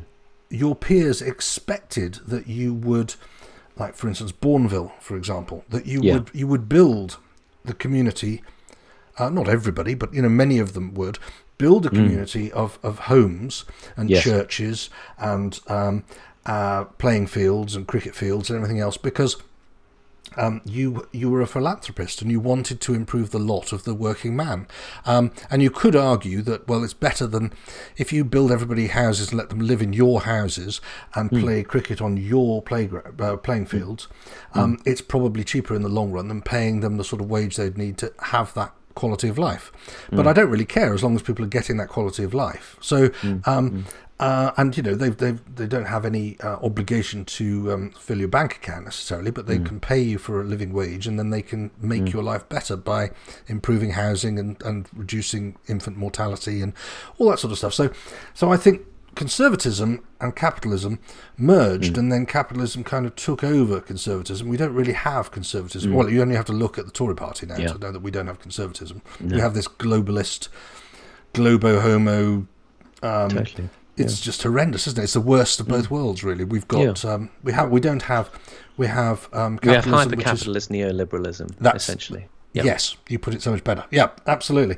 Uh, so I think that that's the problem. And I noticed yesterday when you were talking to um, uh, to uh, Mr. James Bembridge, Bembridge. yes, Yeah. and um, I just caught the last of it um, this afternoon, and you you started towards the end started talking about morality, and um, James a couple of times said, "Well, I don't pretend to have any particular." Um, Yeah, you know, uh, interest in morality or, or holding myself up to be particularly moral or anything else. Mm, I don't want to mis- misquote him, but I think that's kind of where he was going. He, didn't Yeah, have an interest yeah. in. He was taking expressing a more moral view. libertarian bent these days. Yeah. Yes. So, Yeah. and I got the impression from your hesitance that, you, which you've just said, um, that yeah, Mm. You had a different view. Um, yeah. uh, maybe are, are you?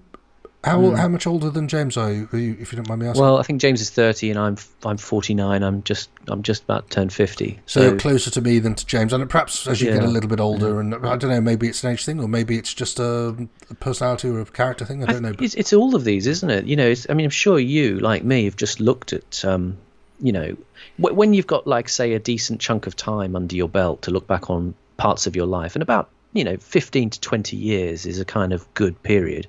Um, although lots of these things perhaps occur to you earlier as well. But, you know, you look back and you can see the changes that have un- happened over various electoral cycles and various economic up and ups and downs, and you begin to sort of take a kind of snapshot of the country around you, the, or the people around you, or your own life in the context of that, and you begin to see that.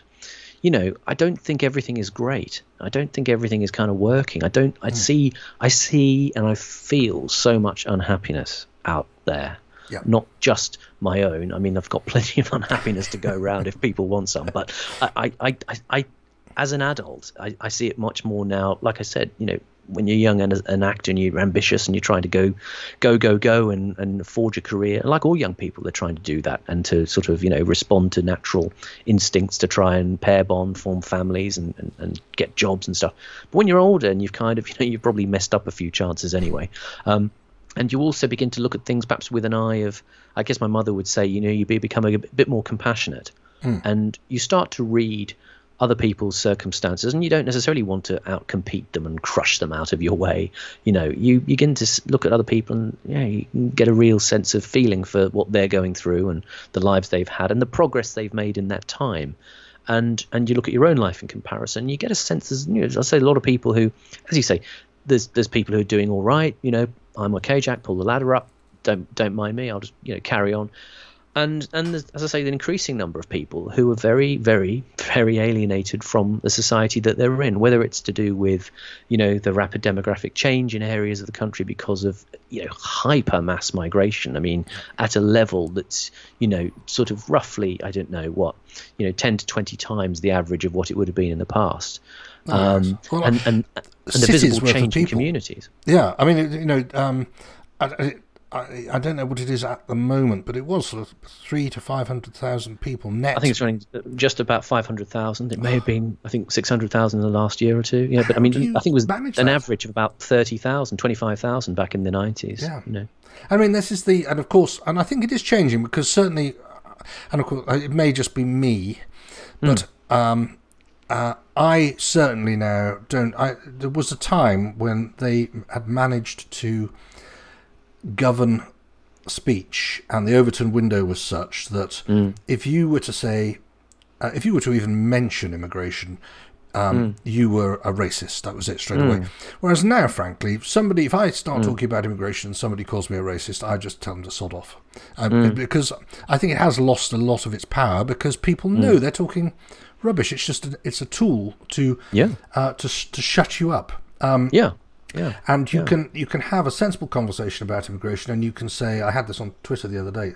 I'm not sure it was a sensible conversation on Twitter, but I had the conversation on Twitter along the lines of somebody had basically said that, you know, oh yeah, some, um, of course they can do it. So I think you know it was oh some gammon, some old gammon or something. Yeah, it might actually have been yeah. that some little spat that you had with your little American friends. I might have chipped in on the side of that. Yeah, and yeah, um, yeah. and it was um, well, first of all, frankly, I don't give a stuff what you um, what you say because I yeah. you're not coming from a point of you, you, you have no goodwill. There's, there's nothing there other than trying to close down the debate. But secondly, mm. um, yes, 20,000, 30,000, mm. even 50,000 people, mm. um, give or take, mm. some years, and then maybe 100,000 people one year, and then uh, and, and uh, maybe you don't have any the next year. When yeah. a functioning economy ought to be able to have immigration uh, and hmm. emigration. But what you hmm. can't have hmm. is um, two cities the size of uh, no. Southampton coming in every year, especially yeah. when they're coming in from parts of the world where um, they either don't speak the language or they mm. don't believe the same basic things that we believe. Yeah. Uh, and even though they may well be perfectly, the majority of them, the vast majority of them might be perfectly decent people. Mm. They might be more moral in many ways. You know, if they're mm. very religious, for example, they, they mm. may, you might yeah. look at their morality and go, well, yeah. you know, there are certain things about them that you can see why they despise the West or what they think is the West. Um, yes. But then they come and live here and they don't assimilate. Yes. And you end up um, with a them and us in your own nation. And as you say, a nation yes. was a very nice package. You had a nation of people. Mm. You you traded with other nations. You respected mm. other other nations' culture. You respected their um, the way they did things. Uh, you went and visited them and experienced their culture, and then mm. you came home to your culture. And now yes our culture is big. You don't see Saudi Arabia um, with half the cabinet coming from North Yorkshire or or um, the, the you know, Hampshire or whatever, do you? South Wales. yeah, I mean that just doesn't yeah. happen. It's only happening yeah. in the uh, in the West, in the Anglosphere. Exactly. Exactly. Yeah. Yeah. And it's it's it's. The, I mean, again, it's one of the problems of the kind of liberal paradigm that people tend to hyper individualize everything and every phenomenon and every experience. So they look at them through the eyes of themselves as individuals relating to other individuals. But this is, uh, this is an idea I've used before. The the the uh, the uh, the guy Edward Bernays, who's who's featured in the Adam Curtis documentary, The Century of the Self, was the guy who invented PR and you know effectively corporate propaganda. You know, and one of the things that I always struck with stuck with me about him was that his daughter was saying he didn't think about people in terms of individuals. He thought about people in terms of hundreds of thousands and of millions. So it's it's always about judging the aggregate effect of these things rather than going, oh, you know, Mr. Patel who runs the corner shop, should he be here in this country? You know, it's not that kind of a moral questioning about, oh yeah, my mate Abdul who who lives down the road, I get on with him. You know, should he be here? It's not the sort of a question about relating your in, individual degree of xenophobia, if such you have, um, to the people you know. It's about saying, as you say, well, we're, we're you know we're bringing in um, you know uh, here hundred thousand people from this part of uh, you know um, sub-Saharan Africa or from the Middle East, and as you say, we're creating a balkanized community within a country. Now, it's not the individual people necessarily within themselves as individuals that are the problem, but when you create the aggregate cultural transfer, you create a, a discontinuity in the society. You know, you are you are you know you, you're dealing with numbers that are not assimilable uh, to the extent that it may have been in the past, and and as such, you are you know you are provoking community ructions, you are provoking um, you know cultural discontinuities and anxieties in the people who are the people who are there before, so yeah. to speak. You know the the c- continuous population groups that have been at least you know propagating and consolidating for the last thousand years since the Norman invasion. So it's it's a difficult thing. You're not. It, it's when people personalize it and talk in terms of personal xenophobia I think that it gets bogged down because actually it's about saying, look, it's you, you're changing the quantities of one thing that you're putting into another vessel, and a vessel only has so much capacity. And and like a country like ours, I mean, people can blithely say, oh, we've got so much capacity, we've got so much space, we've got all this money, but the actual way we live in our aggregated towns and villages and cities, um, the capacity isn't there. It's not. We can't just, you know, no. build an extra number of hospitals or towns just like that. So we're having to compress people into these, um, you know, modes of living which uh, don't have the arithmetic volume capacity to be able to tolerate that. And as a result, there's there's human sort of fraying at the edges, uh, and and that has to be attended to in some way because it impacts on the, the quality of life of the people in that nation, and and so you have you have to kind of reassess. Um, you know how you how you consider that nation to be. Do you consider it to be something that's uh, you know a heritable property of people who were there for a continuous period of time of a certain ethnic grouping? Uh, or do you just say it's it's kind of like a you know it's like a holiday park. It's a theme a theme park or something. It's it's it's like a commercial space where you just simply put more labor in and it kind of all homogenizes into you know a, a big sort of factory zone uh, where there's uh, plenty of people earning you know little little to no um, you know uh, you know decent money and uh, you know working in low skilled jobs.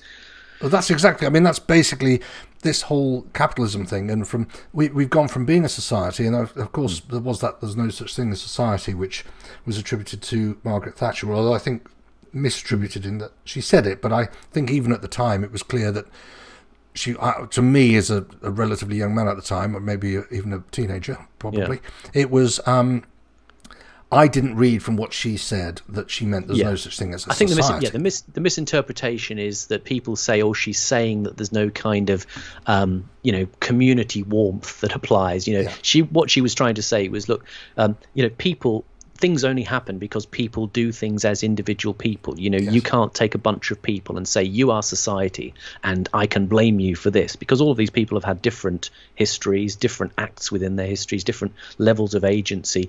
And you can't hold people collectively responsible. You can't sort of, you know, um, go to people, you know, uh, you know, in York and say, you know, well, you're all responsible for the slave trade. You know, yeah. you've all you've all got to deal with this now. It's your your society, and you have to bear the brunt of, of this kind of moral fracture in our history. And I think that it's it's it's unrealistic, it's stupid, it's unfair, it doesn't make sense. So there's no society in that sense of abstraction, but there are individual people living in a place, living in a time, and of course these are complex relationships. But again, the the proposal in a sort of increasingly collectivized kind of form of, of, of left wing politics is such that you can take groups of people and, and some groups of people are bad and some are some are hard done by and you can then sort of redress the sort of justice balance between them by taking from one group and giving to another. Well, it's it's trading on grievances as well, isn't it? It's making a victim, yeah. telling them they're a victim, and then using that grievance uh, to um, enact what you want, which is you know effectively revolution or whatever. Um, yeah. Re remolding our society in the in this new sort of um, mm. nirvana. Uh, I think um, as well, it's interesting that, and I mean this is a bit of a trope now, but the fact that the mm. the left are almost without doubt uh, in, a, in a, if you start a conversation, it's nearly always if there's going to be a racist there somewhere, it's going to be the left, because mm. they classify everybody by um, skin color or whatever else. What I find is quite interesting, um, and I don't think I think this is done because they just don't get it. I think they are not all of them, obviously, but you know, are racist. Is that um, is, you know one of the protected characteristics, if you like, well, literally, legally, a protected characteristic is somebody a racial minority. So if you mm. happen to have brown skin, for example, so Yeah. the left then classify everybody with brown skin as being the mm. same. So whether you come from Yeah. Afghanistan or Somalia Yeah. or Pakistan or Bangladesh or India, Yeah. Yeah. you're a little brown person. So you're you, yeah. you're a good guy, and you will have lots of you because we want to uh, and really you- rub you- the right's face in it. As Yeah. You inherit a set of grievances as well. exactly. You know. but but, uh, but uh, the problem is then you, and, and they're getting this now in a lot of um, um, in in France and in um, uh, different parts of Europe where they they're housing um, immigrants from all over the North Africa and the Middle East and uh, the Indian subcontinent, and they have they've got gangs of different um, racial groups fighting each other because. Yeah. It turns out the Somalis don't get on awfully well with the I don't know the Bangladeshis Afghans. or the Afghans, Yeah. uh, and we're now looking at tens of thousands of Afghans coming, which is perhaps something we could touch on. But I mean, um, yeah. uh, again, you look at what's happening out there at the moment, which Mm. actually I've, I've got a little bit of a theory. I did tweet it yesterday briefly. Um, Mm. Am I being too cynical to think that Biden, who I think doesn't know what day it is, but the people No. behind Biden, the neocons, which that's who's behind Biden, is it? It's got to be Yeah, the yeah. neocons. Um, Mhm. that what could they achieve out of this? They've. I don't believe anybody is as inc- um, as uh, as unable to, to just do the basics as as Biden's administration has been. So Mm. you you take you, you're working to a time frame. You set the time frame for 9/11, as I understand it. Or, um, something was for 9/11, but it was the um, 11th September. But I know it's the, the end of August, isn't it? Is the actual date. Um, uh, you withdraw. You leave it until the last minute. You withdraw all of your troops. Leave all of the um, the administrators and yeah. all the normal people that you know in in the country. Mm-hmm. Don't even tell um, the Afghan army or your British and European allies what you're doing. Disappear. The place falls into absolute carnage. Mm-hmm. The press do the, what the press do. Um, and I read a couple of people today saying, "Well, we might have to go back in and um, and um, and make sure we get all these people out. And if they start Yeah. killing people, then we're going to have to go in and show them who's boss." Mm. And you go, well, isn't that convenient? Because for 18 months, Hmm. we haven't had any killings of US or, I don't think, of British servicemen Yeah. um, because we were going to be leaving. You know, Trump had sort of sorted out we were going to be leaving. So the Taliban are going, right, okay, well, we'll just keep quiet and we'll be, we'll be in the pound seats and what have you. And then um, all of a sudden, that's all fallen apart. You suddenly start getting videos of um, of people getting murdered and shot and tortured and imprisoned and whatever else is going to happen. Yeah. And then all of a sudden, well, the only way out of this is to go back in and restart a war which had all but finished. yeah. Yeah. Um, I may be being totally cynical about it, but I just it just occurred to me the other day, and I thought, well, Mm. Yeah. you know, yeah. who you've, benefits? you've given from a the rest of it? you've given a booster shot to the moral justification uh, for being in the country, haven't you? You know, you had the original. Uh, you know the original vaccination against terrorism. yes, Where's this analogy going to go? um, and then you know, 20 years later, you know, you've created a, a you know a, a bit of a you know bit of a bad night in Baghdad to bring an old war into the uh, metaphor there, Yep. probably Yep. inadvisedly. And um, now you've got, as you say, it's it's it's going to end up in all sorts of nastiness, all sorts of atrocities, and there's going to be cl- you know cries to go in on a humanitarian basis to go and pull pull them apart again. And and again, it's going to give that that that uh, booster shot to the whole project of being there to partake in what you know people have been calling the forever wars in the Middle East uh, yet again. And of course, you know. Um, you know, uh, where there's where there's war, you can you can make money, and um, you know that's that's entirely entirely possible from the point of view of a system that, like ours, operates on a kind of principle of creative destruction forever and ever. You know, constantly wanting to upgrade the the cycles uh, and you know artifacts of consumption, uh, and you know move people onto the the next thing and then the next thing and then the next thing. There's no kind of, you know, setting the thing right and then leaving it and walking away. You know, there's no sort of sense of well, you know, uh, you know, as JFK said about Vietnam, you know, in the final analysis, it's their war. They're the ones who have to win it or lose it. You know, um, and you know, um, it shows how desperate I am quoting JFK, a Democrat. you know, but you know, I think he's right. I think you know, to be honest, you know, uh, our kind of um, Western interventionism, um, for whatever reason, for the best of reasons, uh, it now strikes me as uh, extremely misguided and foolish and wrong. And well, uh, it's not that I don't grieve over these things that I see that are terrible. And in the past, I used to be very much about, you know, yeah, go in there, hit them hard, sort them out. Unfortunately, the people in charge don't have um, the the you know, I mean, I, I wouldn't have, if I was going to invade those countries, I wouldn't just sort of go in with a sort of minimal military force and try and sort it out. I'd invade them, I'd conquer mm. them, mm. and then I'd go in and take everybody's guns off every, you know, yeah. of, of, you know, and you would subdue them into a society that, you know, would then be under an imperial rule. But would that be a great thing to do in the long run for the Afghans? It occurs to me, as I say, as I get older, why not just leave them to run their society the way they want? And if it's going to be a very savage and cruel uh, and uh, you know offensive society to us. Well perhaps that's just the lesson of life that yeah. different peoples live at different speeds. And i'm afraid there's people who are going to live lives and societies that we're going to find extremely hard to deal with extremely objectionable extremely frightening extremely vulgar extremely horrifying. And we just have to leave them to do it. And it's terrible but I don't think we can go in with a sense of you know um, you know shooting them into democracy um, because it's not something that they want. They they they are very old, conservative, very reactionary societies. Now it just happens that the form of conservative reaction that we have in England, um, you know, over the last thousand years, and you know that since that feudal period is one that's a bit more livable. You know, we don't have to constantly chop bits off people or execute people. We can kind of get by without a lot of that. Um, and it's more agreeable as a reactionary society. But that's that's what they have, and they're exactly. just acting it out in and a certain way. I, I mean, it's.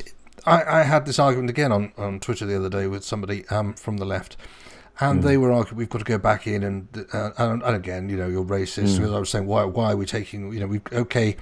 I was all for my view, which is probably this. I think the majority of people probably think this in Britain those that have been on our side and have risked something for the mm. project that we introduced um, and forced upon Afghanistan, this sort mm. of westernizing of the of the country, those people that have taken a risk and have, have, have sided with us, they're effectively, if that was happening in Britain, mm. um, they have been collaborators. Yeah. Um, so it would be reasonable to take them um, you know bring them away and say right well you're you know you you risk something we asked mm. you to and you did it it's mm. only fair that we should bring you to this country mm. uh, at least in the short term I haven't mm. really got a problem with that. I think that's reasonable. Mm. I don't think we mm. should have been there in the first place, or at least we should have gone there. We should have um, we should have done what we were going to do, which was to um, yeah. chastise the Taliban, destroy their ability to have training camps, get Al Qaeda and get, um, which obviously in the end he was in Pakistan anyway. Get um, uh, you know, the main man, and then mm. and then get out. That's what we should have done. But then we decided to mm. nation build and all this sort of rubbish. Well, nation building. And I was having this argument with the, these lefties, and mm. they were all for it. Nation, you know, we should have women's rights. We should have this. We should have that. So you're colonialist then. Mm. You're arguing for yeah. colonialism. Yeah.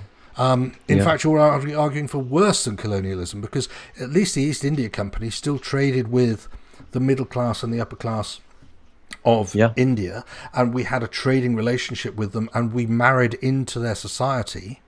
Yeah. Um, you know, we had officers there that were going out there and marrying into the into the high levels, high echelons of India, and it was probably uh, okay. There was some pretty horrendous things happened, but as invasions of an entire continent go or subcontinent, mm. it was pretty good, really. I think you know we did it with trade, didn't we? Initially, mm. and mm. then and then as I, am no great historian, but then as I understand it, the British um, bureaucracy took over from the East India Company or whatever, or, um, mm. and and then you ended up getting. We tried to impose the very things which we're now trying to do in Afghanistan. Um. That's my understanding of it, and and I. Mm. It seems nuts. I'm I'm very much with you. I think let them mm. do what they're going to do Yeah. Frankly, I don't even agree with half the things that um, modern West want the modern Western society to be. So why yeah. we should impose it on Afghanistan, I have no idea.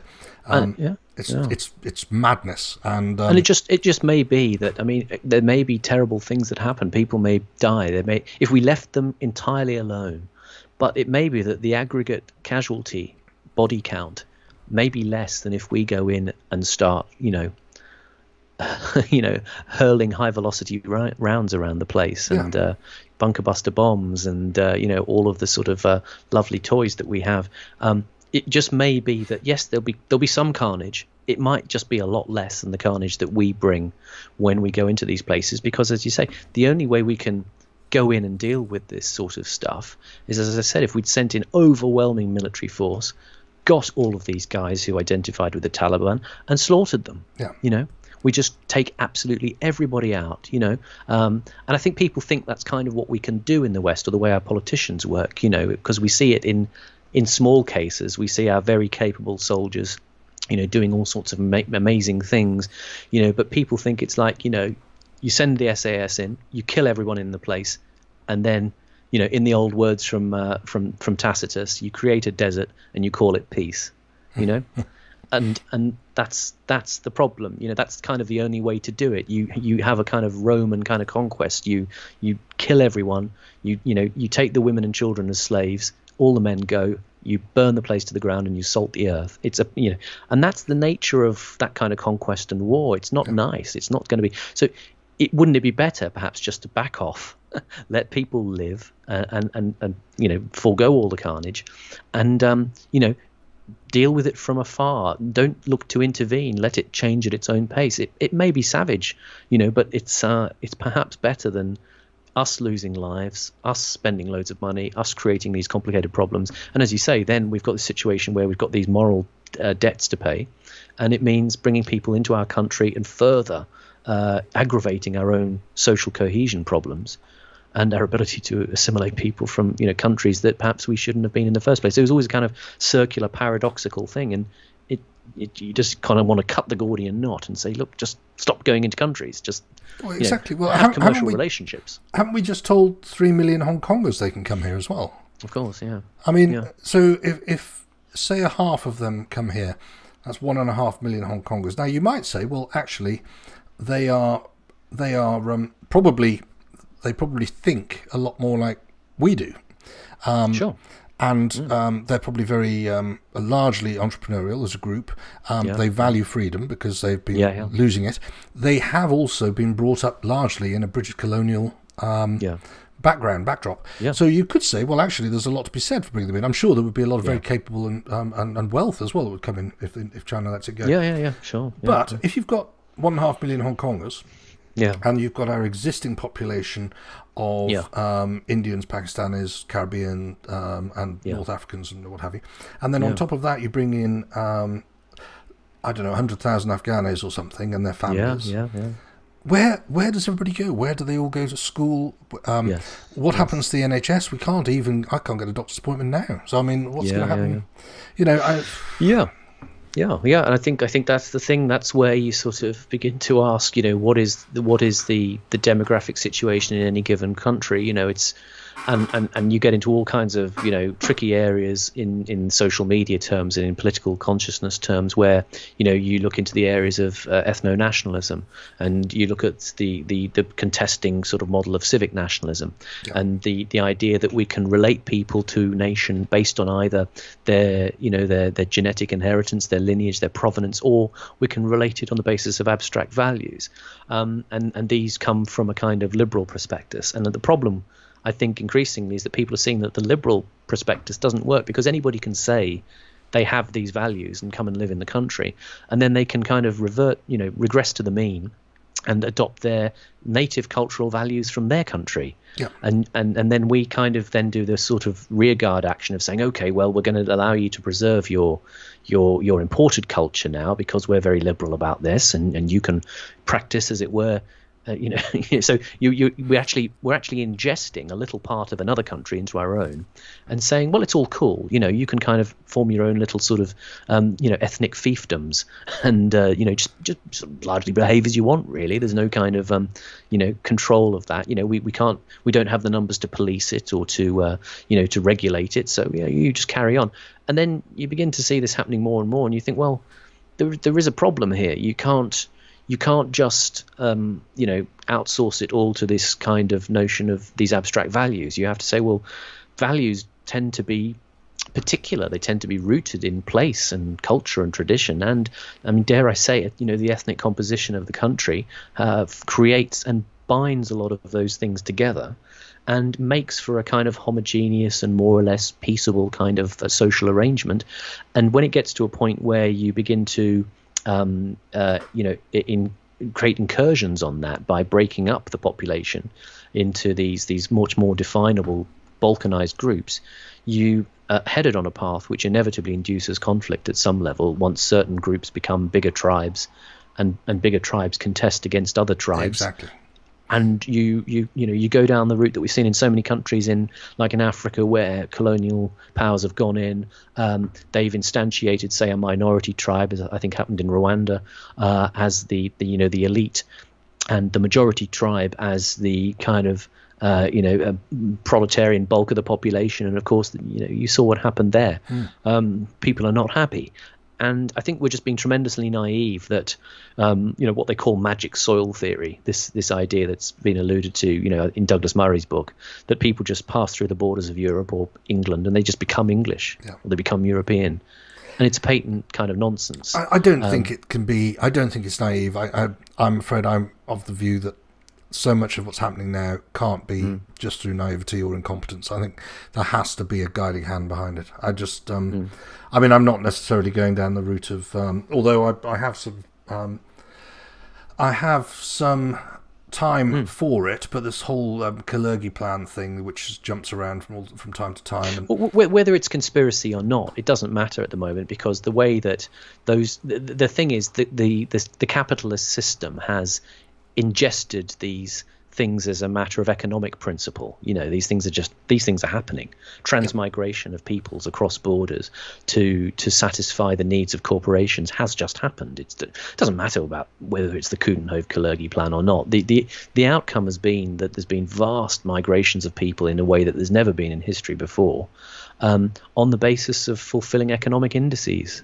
Well, this is something that, um, not on this particular topic, but this is something that James Delingpole has said on mm. with regard to the whole COVID thing. Um, yeah. In that, you know, too many people are looking at it and going, but why would they want to do this? Why would they want mm. to do that? And, and, yes, as you say, the reality is it doesn't really matter. It's like it's like mm. saying, why did Hitler want to invade Poland, or why did Hitler want to invade? You know, when mm. it's happening, it's happening. You you know, you yeah. you have to deal with it. Um, yeah, I, yeah. I, it's I don't know. There's so many things that we could talk about. I I'm conscious we're now at 147. I'm going to try and keep it under two hours. So okay. Um, mm. we we we were talking about what you're now doing because uh, this mm. was originally about Simon Roberts. So you you are doing your um the, you I knew you through the Delingpod thing. You still yep. I think um, you know, a, a sort of uh, uh, the third Wednesday thing. You want to tell us a little bit about Third Wednesday for those? Yeah, Third Wednesday is something that Dick Delingpole started um, in uh, Worcester. Um, he would go. Uh, he was a reenactor. He is a reenactor. Uh, he uh, recreates historical French soldiers from the Napoleonic period, the First World War and the Second World War. Mm-hmm. And I did a little bit of reenacting myself in in the past as well. Um, and I um, you know, Dick um, started. He, they have a, reg, a, regular Wednesday meetup for all the reenactors in Worcester, and he was just getting a bit bored with that, and he decided to start his own kind of meetups where it was his friends off Twitter. And right. uh, people would meet in real life in the pub on a Wednesday, just to have drinks and get to know each other. And um, you know, it, it, it's it's uh, it's been a thing that's been going. I don't know since what 2019 now and uh, we've um, you know tried to keep it going. Um, I think also it was it was from an experience that we had when um, we had the uh, Delingpod um, down at Podcast Live in London, um, which may have been 2019 as well, where we went and did the, the Delingpod and then um, with Brendan O'Neill, and then we went to the pub with him afterwards, and we just thought, wouldn't it be nice to have this kind of thing where you meet these interesting people and you can talk politics and culture, uh, and I think that was possibly a bit of an inspiration for it as well. Mm-hmm. And uh, that's continued apace, and that's something that we're trying to sort of spread, you know, the evangel of uh, throughout throughout the country, um, so that people, you know, move out of their social media uh, personae and, and context and go and, you know, find friends in real life you know, with that as a springboard. And um, we've obviously started the one in, in, in Worcester. Uh, you know, one has started in London, uh, one is now in St Albans. There's also one in Hertfordshire, which started last week. There's going to be the Third Wednesday North, which is in Cheshire near Manchester, mm-hmm. and um, the hope is that we can just you know see the creation of different nodes around the country where people meet up and you know the, the, the the meets and the conversations are not necessarily about politics and culture, but that might be the sort of stuff that exercises people, and they want to meet people of a similar kind of mind, and it tends to be people of a kind of you know, conservative or libertarian or liberal bent.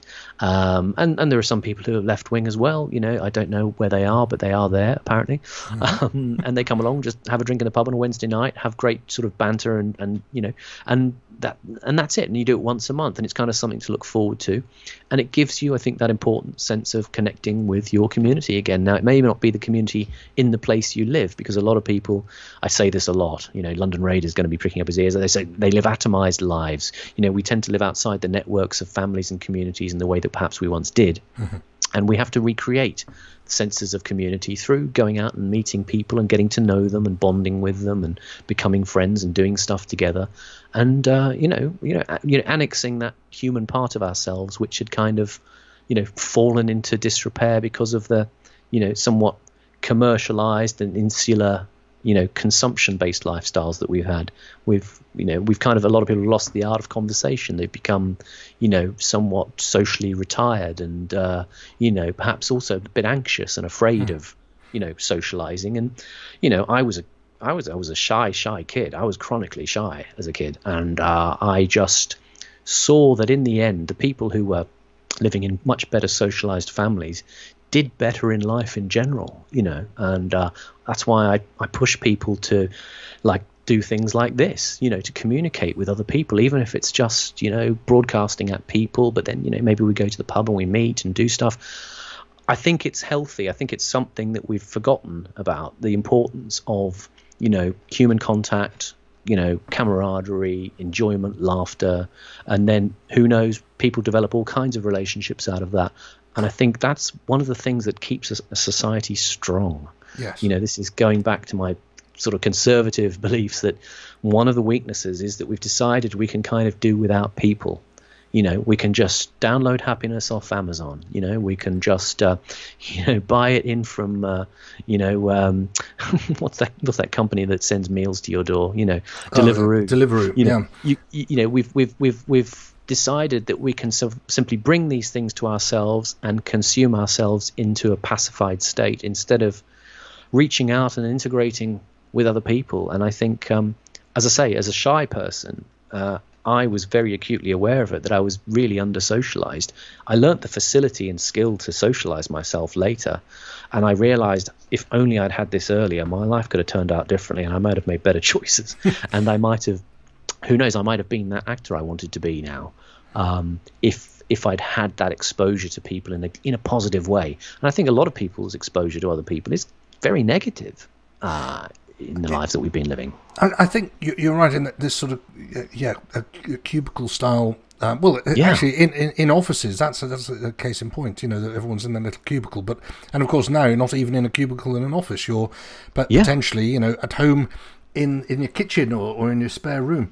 And yeah. that again, I wonder whether that isn't. I, I'm not sure that that's entirely an accident, but over the last 18 months, certainly people have largely, not everybody, of course, but um, large swathes have become insular, I think, for that reason. And so, mm.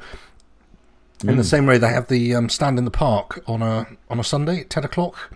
Yeah. Uh, which I, I haven't done yet, but I think is a great idea. Obviously, based around the lockdown to some extent. Yeah and and you could say it's a little bit out of date at the moment, but I frankly don't think. I think we go we're, we're going to have another lockdown. I think in September, mm. October. So mm. I think that stand in the park would be a really good thing. Go to your local park at 10 a.m., meet up with like-minded people, and just ha- if nothing else, because of lockdowns being the way they are, it at least gives you an opportunity to because not everybody is like-minded in families. That's one of the big tragedies, isn't it? Um, mm. I've got plenty of, fa- uh, well, not family actually. My family are all, they've got a very small family anyway, and they're all of, of one view, give or take. But um, lots of my friends don't feel the same way I do, um, yeah. and it's been quite a problem for a lot of people, I think, in yeah. because it's such a big thing, isn't it? But um, yeah. I wanted to ask you a question actually, because uh, so so third Wednesday, how mm. would how would people before I ask you this question, how would people um, would they contact Dick, or would there, is there a website, or would they contact you, or how there, would it work?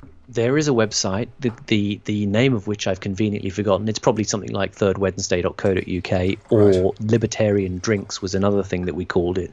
I, I, am not sure we should have attached ourselves to the name Libertarian because it seems very specific. It, I think it's a general sentiment of, of being, you know, liberty inclined yep. rather than libertarians. But, um, you know, yeah, it could be thirdwednesday.co.uk or Libertarian Drinks. I'm not sure. There is a website, but I say the main thing is to go on Twitter, set yourself up a Twitter account, even just a holding account, and follow Dick Delingpole because a lot of the third Wednesday is advertised through him or yep. me mm-hmm. on my Twitter feed, uh, and and people like Ronan Marr up in Third Wednesday North, uh, people like Zero to Hero down in Hertfordshire, um, Milton Free Speech in St Albans. Um, there's also True Beer Badger who's doing it in London and various people who, at, when the time of the month comes, we put a shout out for the third Wednesdays and you know amplify everybody else's shout out so we can see the sort of meetings you know have some sort of continuity and growth.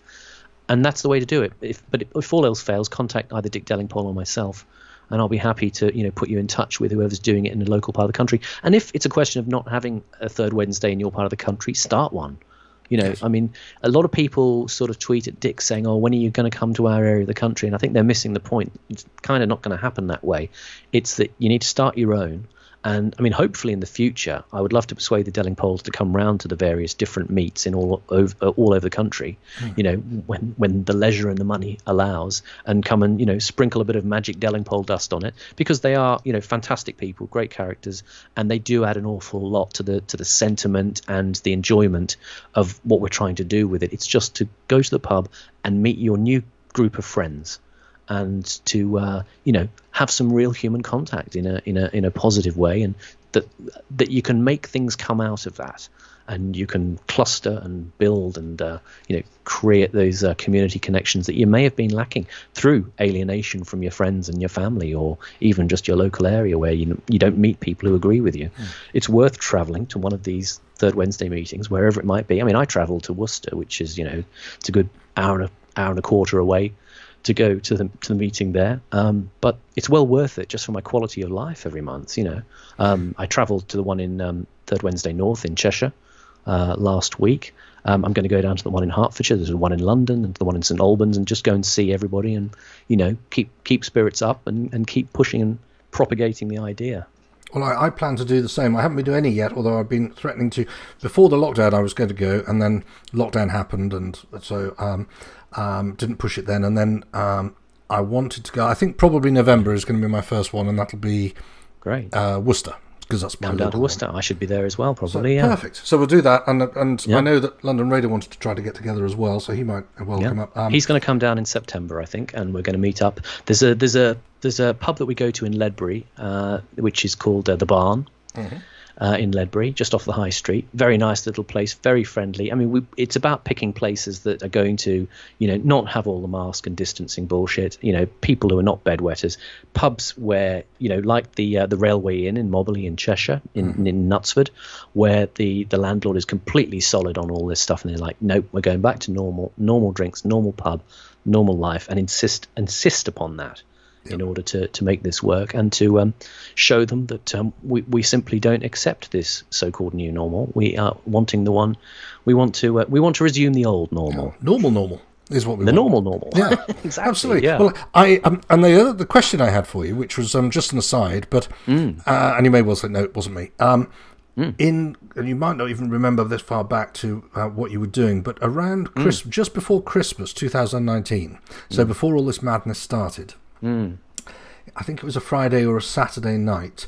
I was in a little pub in Worcester. Mm. Um, and I've forgotten the name of the pub. You've probably been in it if you've uh, seen Dick up there. Yeah. It's quite a small. homely pub with a bar and a saloon. Um, near the railway arches and what have you, uh, near, Yeah. down towards the the racecourse, I think, um, from Foregate Street. And Yeah. um, I was in there. Dick was in there, and obviously I recognised him because he's very recognisable. And as I was a Yeah. fan of the show and had seen him talking to um, to his bro on several occasions, so um, I was quite a fan. So I went over and introduced myself and uh, said I'm a big fan. Um, just wanted to say hi and keep up the good work. And um, he was very gracious and just said, "Oh, you know, you know, thanks for coming over." And everything. Then I, I wandered off thinking I made a bit of a tit of myself. But um, Oh, he was with somebody, and the, the more I think about it, the more I wondered whether it was you. Could it be? Was it a pub with lots of wooden beams in and stuff? Was it kind of quite oldie, An pub? an, an old boozer, an old sort of um, it, it has a kind of sort of smallish sort of um, like tap room, almost a bit like Yeah. a sort of medieval barn. Yes. Um, Yeah? I'd it was if you come from Foregate Street, walk down towards one of the side roads down by where there's some railway arches. So if you walk Yeah. that way, Yeah, yeah, yeah. it's down on the right, I think, and there's um, it was a nice, just felt like a comfortable old style pub. Was it quite empty at the time? Do you remember? Um, well, we were standing at the I was standing at the bar with my brother and a friend, and then um, Yeah. you well, Dick was sat down at a table with one other person. That would have been me, probably. Yeah, right. that sounds like we. I did have a night that I went out with uh, Dick, yeah, to the pub, and um, we were having a chat about some stuff that had come up um, that I was telling him about the alt right, and I thought it was important to have a, have a word in his ear. Um, because there was all this kind of stuff of um, going on and people attacking people's social media content to, uh, you know, discuss sort of alt-right talking points. And um, I, I sort of ha- had to go to see Dick and say, look, I've got to explain what's happening to you because this might affect James's stuff. Right. Um, and because I was, as I say, I'm quite protective of what's happening in, in brand Delingpole, as it were. And there was always there's always people wanting to take a kind of swipe uh, at some level. And um, so I think that could have been it. Yeah, I went down. It was kind of winter sort Yes. of period. It was just yeah, just before Christmas, I think it was. um, Yeah. So um, I, I just occurred to me, you know how you suddenly think about it, and I thought, Mm-hmm. well, actually, that might well have been you. it, I just, you know, but it's a while ago now, just Yeah. before all this madness started. But um, Yes. so we may well have met. How about that? But um, There you go. Weird, isn't it? You know, sliding doors. exactly, exactly. so, um, so we, we, in terms of other stuff you're doing, you, um, Hmm. Probably 100% of people are listening to this uh, Hmm. as and when it goes out, um, and, um, will already know of you and what you do. But um, you obviously were doing the Guff stream with uh, Hector Drummond Yeah. before uh, a couple of months ago. Um, yes. So that's on sort of hiatus at the moment, as I understand it. That may or may not come back. Yes, Hector Um, right. wanted to take some time out to do a bit more music and comedy stuff, and you know work on other things. Um, and and I think it's you know it's it's got potential to come back if if people want it to, and if he wants it to. Uh, it's his baby, but Mm-hmm. um, you know we're more than happy to do it. I think, but you know he might want to have someone else on the show, do another kind of format altogether. You know, and and I might be cast to the wayside. Who knows? I mean, I'm not going to be bitter because I've I've started something else. But again, like I, I when we originally talked, I encouraged you to do this. I encouraged, um, you know, Mike Livesley to do his show. Uh, just want to see, you know, let a thousand flowers bloom, as uh, Yes. as Mao Zedong once said, and uh, just keep it going. Just keep doing stuff because it can't hurt, and it prompts people to get together, listen around the radio, or listen around a YouTube stream, or go to the pub and meet some people. I mean, it just it just doesn't matter. You know, I don't care if you know people want to, you know. You know, play the trombone naked with one foot in the lavatory, you know, and put a video of it on YouTube. If it makes us laugh and it gets us together, you know, it's just, you know, um, it's something to do, you know, and it could be, you could you know do cartoons like Bob Moran or you could do viral videos or something just just you know put something in there and and get us you know get us to pay attention get us around it and create sort of some sort of cultural momentum in a different direction from the one that you're kind of spoon fed by you know the BBC or you know Sky TV or even GB News and and find another way of making contact Well, I think uh, that's the point as well, isn't it? I mean, not only is it what harm comes of it, you get to meet. I mean, I've met some really um, uh, nice people through this, and Yeah. um, through your encouragement, because you did very much. You know, when I, I think one night I've just had enough, and I think I DM'd you and said, like, "I'm just sick. I want to do something. I don't know what to do," and um, you were very um, kind and um,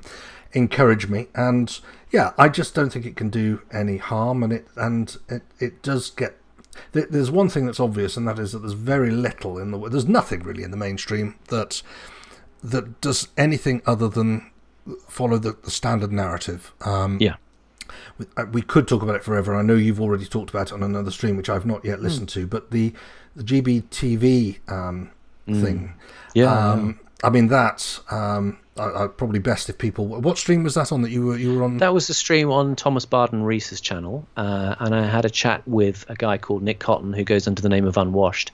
Uh, he's a kind of a dissident um, media provocateur, and and Thomas is, is interested in conspiracy theory and dissident thought. And we had a chat about GB News, good or bad thing. You know, I mean, in general, a lot of people on on the dissident uh, side of things, you know, and I'm probably overlapping with a bit of that. Uh, just find that you know, it's it's it's a kind of um, it's a kind of way of making people feel a little bit better about the fact that they're not getting what they want out of the BBC or the other mainstream media, but it's still a kind of fairly heavily curated narrative to to keep people kind of you know fairly stultified, I guess.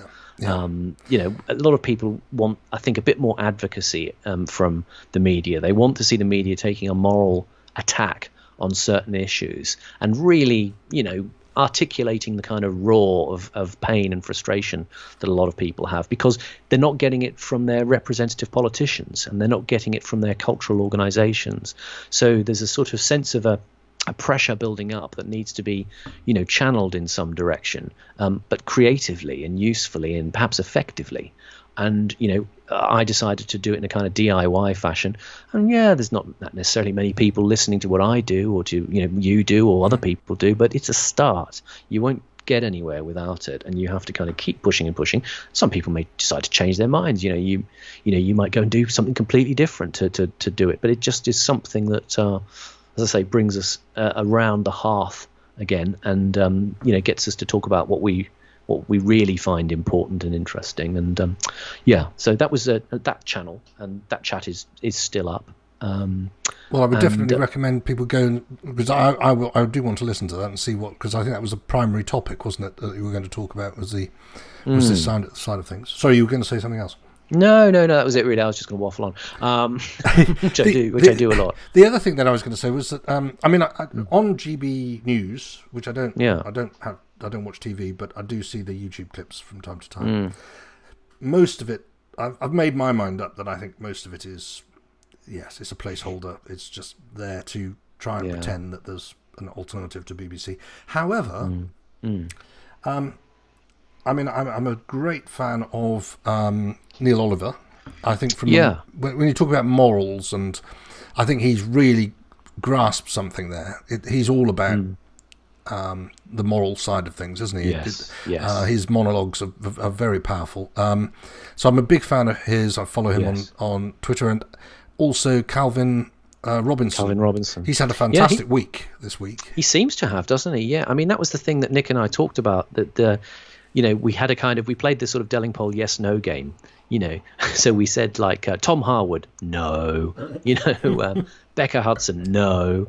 And um, there was a couple of names actually. I mean, um, Dan Wootton was somebody I had to little I had to have a little think about him because although I think he's still pretty posed in some ways, as they say, um, I think he's trying. He's trying. And and and Calvin Robinson was another name where people said, well, you know, yeah, he's you kind of could take him for a kind of a bit of a liberal, bit of a classical liberal, where you know there's some things he's not quite addressing, and I think there are some things he's not quite addressing, but at the same time, he has he has been pretty. I saw the clip of him talking about Tony Blair. That was absolutely priceless. That was a great body slam. You know, that was good. And that, more of that. And Yes. as you say, Neil Oliver has a, a moral um, gravity and a kindness and a humour about him. and he has all of that, but he has um, he has the right amount. He is, I think, a perfect example of what um, Jordan Peterson's talking about when he says that you, you, you don't you don't want to be nice, but you want to be you want to be competent, and you want to be capable of being dangerous. yes. But but like you know, it's like it's like talk softly and carry a big stick. I get that Yes. impression with Neil Oliver. He he's the sort of guy that if you were talking to him and you went the wrong way, Yes. he's not going to slap you because you talked to him. But if you were to do something that it was, you know, um, you know, uh, pee in his rice bowl or or um, hurt somebody that he loved or something, you can imagine that he would be, um, you know, this is my imagination here. I'm not saying he's going to do it, but you know, he would be a, somebody you would not want to cross. And I think that that Yes. is, without um, having setting the authorities on him, I think that what I'm Yeah. trying to say is he is a competent and therefore a dangerous person who Yeah. has a moral base to him. And I think that's what you want, really, isn't it? You want to have. It's yeah. you don't want somebody who's just wishy-washy nice, doesn't want to upset anybody, um, Yeah. doesn't have any boundaries. You want Yeah. somebody who's going to be strong and have boundaries, but also be tolerant and also be reasonable, but um, but you know have a line. And I think that's what Yeah. what he has. Well, yeah. I mean, again, the, the part of me that's no longer liberal, sort of, my my eyebrows raise when you say tolerant, because I've decided that there are things I'm just not going to tolerate. I don't tolerate things. I, I I say I don't like this. I object to this. Oh, well, I would say that, this. but I might tolerate the fact that it's there. Yeah. So you know, I say, know, well, I yeah, mean- I okay. mean, I- I think you've summarised it well, though, because I mean, the, the important thing about Neil Oliver, as I, as I said, maybe said to you before, you know, it, it's it's he's talking about very serious things that are happening, you know, and he's talking about it in an affecting way, yes. and and it, it's that important quality that you've identified that he is serious, but not solemn. Yeah. Okay, he doesn't need to be solemn, but he, he's deadly serious. You know, he, he means what he says, I think, and he's talking about things which we should take seriously. We don't need to be solemn. We don't need to be po-faced. We don't need to be ridiculous about it. But we do need to go. These are real issues. These are real problems. These are not things that will just go away by a kind of uh, you know wishy-washy liberal pretending them away kind of approach. We need to address them, and some of them are going to be questions that may induce conflict. And uh, if that's the case, so be it. You know, sometimes have you have to resolve things through some sort of approach which includes conflict. I'm not necessarily saying direct physical violent conflict, but I'm talking about the the you know the contention of people against each other and not the kind of soppy wet compromise thing that we do in England at the moment where we say, well, let's all just get along. And it kind of just means getting along with people who frankly could be quite evil. Well, and I You think know, as well, I can't get uh, along with evil. James Delingpole says this a lot, and I've been agreeing with this for a very long time. But I've been following Yeah. him for for quite a, a couple of years at least. I'm, I'm low numbers on special friend badges, although I, I've lost it. But I think I was probably about number sixteen or something. So um, Oh, not far from me. so um, so I have been a fan of his for, for a fair while. But um, what was I going to say? Yes, he, he he is of that view. I think that um, uh, uh, and not just him, but yeah, the the left are playing for keeps. Uh, Totally. it's not even the left anymore, is it? It's it's something deeper than that. It's not just the left. It's it's a it's a whole undercurrent of of Mm. just everything that seems wrong. Or, or James would Yeah. no doubt say satanic. I mean, he's sort of um, Yeah. gone down that particular route. And I have some Luciferian. yes. yeah, I have some. I'm not really religious, but I, I um I do have some. I do think that more and more evil and and that sort of thing comes Yeah. to my mind when I'm trying to describe something. It's just Yeah. depraved, or it's it's just Yeah. you know so wrong and wrong just for the sake of being wrong and to destroy. Uh, But they're playing for keeps. These people and. Um, there's nobody, very few people on the right or um, on the opposite side of the coin that are that are really even know that they're in a in a war. You know, the culture No, wars is new to most people now. It's been going on for years. I, Douglas Murray's been talking about it. I mean, he's been very quiet recently, but he's been talking about culture wars for very many years. Yeah, Um, yeah, they don't get it. A lot of a lot of mainstream conservatives simply don't get it. Um, it's expressed well in that Michael Malice saying about you know conservatism is just progressivism driving at the speed limit. All they're doing is trying to do it at a slower pace of um, erosion uh, of of these uh, of these um, moral foundations. And and as you say, it's I mean you know James will talk about it in terms of a spiritual war. Uh, you know these people being Luciferian, but you can take these words and abstract them from that sense of the kind of esoteric, you know, transcendent, transcendent, um, and actually just you know clarify the meaning as being to do with you know the articulation of all the worst forms of of incentive and the worst forms of psychological and spiritual drives in people. You know, it's all a kind of it's a distillation of the sort of you know the sheer pus of the human spirit in some way.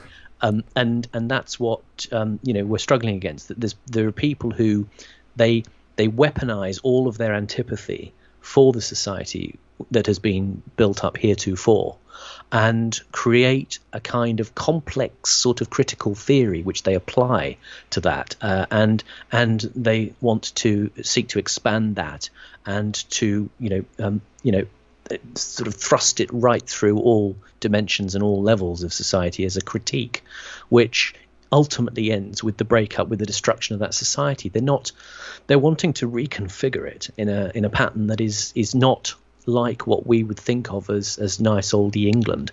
You know, they they don't want that sort of continuity. They don't want that tradition. They don't want that stability. They don't want that respect and proportion and you know a sense of uh, you know social uh, hierarchy and, and all of these kinds of things which we might think of as conservative values, which kind of work well.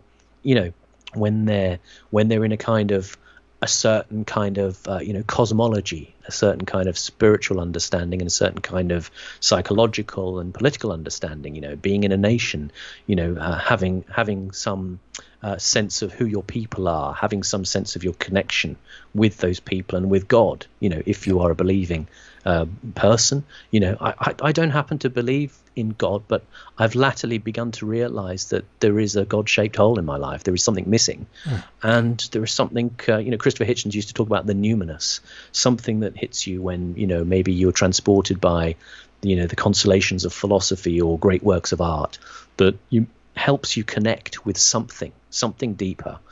And, um, I think that's the thing that's being challenged, that's being that is literally being attacked, and we do have to respond in like form um, to to counteract that. I don't think there's any doubt that, you know, these these are, you know, again, you know, d- just breaking it apart from individuals, like we were talking about with the issue of migration earlier. It's it's more that it's become a consensus amongst certain groups of people, large groups of people, certain interest groups, you know, certain institutions, organizations. It's become a kind of dogma um, yes. that is being propagated and, and perpetrated at you in every dimension of your life. And I think it's time to sort of try and, uh, you know, reclaim, to use Laurence's party, I hmm. guess, as one word, you know, or to, uh, or to, you know, um, you know, fight back against that and, and say, you know, I don't think you have to accept all of this stuff. I think the the notion that it's so overwhelming and it's just going to happen anyway. I mean, this is the thing that Tony Blair likes to say. You know, well these these technological changes, you know, it's the way things are heading.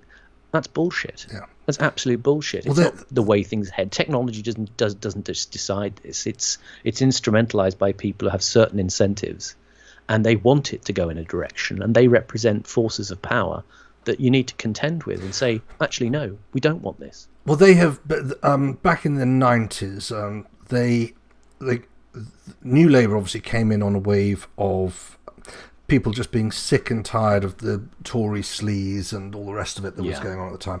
Surprise, surprise, back again now. Um, but the nasty party, as it was, I mean, the Tories have been have been they've spent the last twenty or thirty years doing mm. two things. The first one being trying to uh, not be the nasty party because of yeah dreadful speech that uh, Theresa May did. Um, yeah. And yes, they were perceived as the, the nasty party, but because they at the time were largely seemed to be corrupt, and uh, a lot of the people that they had as MPs were basically Alan B'Stard caricatures, weren't they? So, I mean, yeah. um, had it been people like Charles Walker, who I'm, I'm mm. really disappointed with in the recent past because he just sure, disappeared, yeah. but at the beginning, he mm. was exactly the sort of man that I wanted to be in Parliament. You know, mm. he was he was genuinely outraged by the ways um, a protester yeah. who turned out I think she was Extinction Rebellion or something, but this old lady that mm. was hmm. being treated. He went hmm. into Parliament and he um, hmm. raised it in Parliament. He was shaking with anger. Yeah. Um, and yeah, very articulate as well. And he made his point. It was fantastic. And then he did another great speech about the lockdowns and how they weren't working.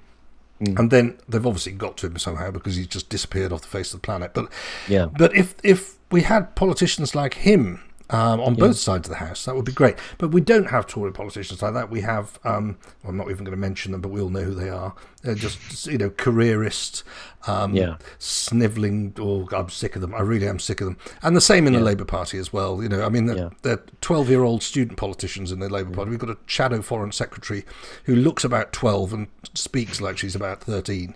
I mean, you know. Good. God, I'm, I'm sick of them. Um, yeah. I, it's it's understandable that you, say you know these are the sorts of people, but again, I think it's only often very fleetingly that you see this. You know, Charles Walker or Desmond Swayne. You know, they become a kind of flavour of the week for a time.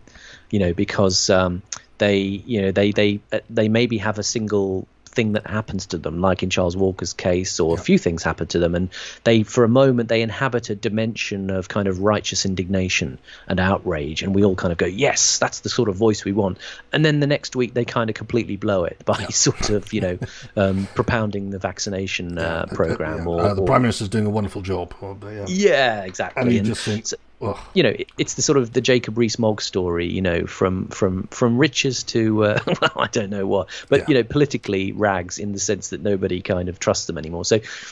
I think you've got to sort of actually perhaps divorce it from that sense of those personalities and actually look at the the notion of a politics that fulfills more of those dimensions of of of, of moral um, sanctity and propriety and you know um, righteous indignation um, in in one person and in many people. You know, it's it's kind of something that you can't just I think leave the hope to certain charismatic people to emerge and embody all of the good things together because it seems very rare that they do.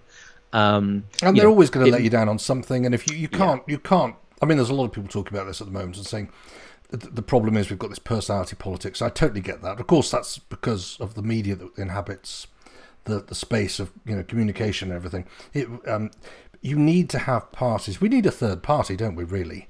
Um, and I don't know how that ever is going to happen in this the way uh, political um, system works.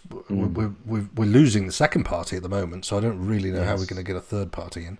I think there are ways. There are ways. There are things that have happened in Europe in, in various kinds of populist party that are giving a, an example of the way things perhaps need to go in order that we perhaps challenge the notion of the representative democracy that we have now. I think there's much more of an appetite for a, a, a direct democracy approach where, as you have in Switzerland, you have mm. referenda, which mean that what people decide is uh, put to a vote. It is then instantiated as law, and politicians become more or less kind of like technicians to enact and to oversee the management of the express will of the people in that way. And I think kind of that needs to happen more because, to be honest, as we saw with Brexit, they can't be trusted to exercise the will of the people as it is given to them with the spirit and intention given to them. They they try and kind of parse the issue. They try and try and subdivide it and say well what did the people mean when they said this? You know and i think a lot of people are pretty clear about what things actually mean. And and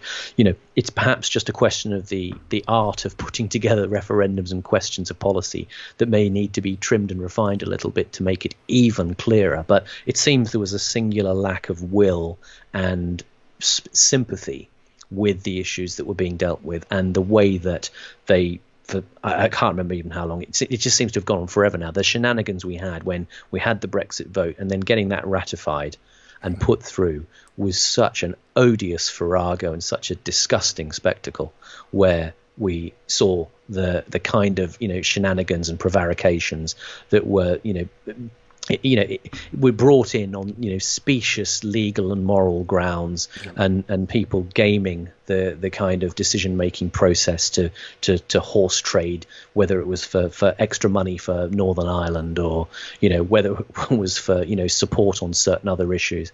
I think it was it was absolutely foul, and I think that has to stop, and I think it has to be taken out of those those hands and put into the hands of um, an approach or, or a system, or as I say, a reconfiguration of the democratic process that means that those things are no longer negotiable with the individual persons of politicians and parties, and that uh, they have to be uh, respected fully and and like justice is meant to be enacted, you know, impartially and promptly. Uh, and uh, and you know this has to this has to be changed.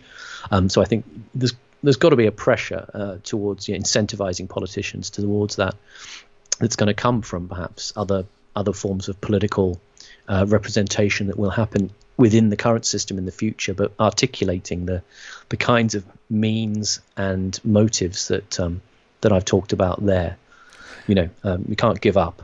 Yeah, well, no, we can't. I, mean, I, I do think. I mean, what you're just saying there. I mean, I, I feel at the moment certainly we've gone the other way in terms of I don't, for the first time Um, I suppose when I saw the, the, the, whole Tommy Robinson thing, whenever that was, three years ago or something, um, it, it, when he got banged up in an afternoon for um, yes. reporting on the steps of a, you know, whether or not it was, well, as it turns out, it wasn't a, um, he, the, uh, the, appeal courts found that he wasn't in contempt, but yeah, he, mm. then yeah. I don't know on the technical issues and what have you. But at mm. the end of the day, what you whatever you think of him, um, the fact was I lost. I, I suddenly realised that we lived in a very different country when uh, yes. a judge looking out of a window can point down and say, "I don't like yeah. that guy.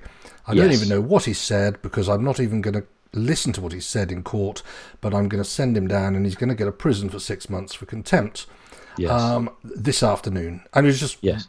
I mean, outstanding. And then to win it at appeal, which was which was encouraging that he he, mm. he got out on appeal, but then mm. of course the state decided they are going to get him, so they just go back in and get. So I don't have yeah. any any faith, I'm afraid, in the legal system in this country anymore. Um, I think the political, the police, the police are hugely politicised now. Um, which worries me a great deal because I think that's a really dangerous. The media are um, are are beyond the pale. Um, mm. So I, I think I, am afraid I'm I'm rather um, I yeah. would say I'm black-pilled, but I'm certainly not yeah. very optimistic. But what I, I, do think that what you're saying and what we need to do is very clear, and I and I also get the mm. feeling that more and more people are coming on board as well, which is encouraging. And yes, what you said very, about uh, Tony good. Blair, uh, I'm yeah. saying you know what they do very well. Um, mm. This sort of common purpose, um, globalist kind of operation. They're very slick. They take it very seriously. They play the long game, and they are ruthless. And they are very good because they've now got all the levers of power. Yeah. At um, yes, convincing. They win on lethargy, don't they? They win on the fact that yes. people are lethargic and oh well, yes, it's time that Labour got That's in. That's it. Now they're losing that now because I don't see the Labour Party getting in anytime soon.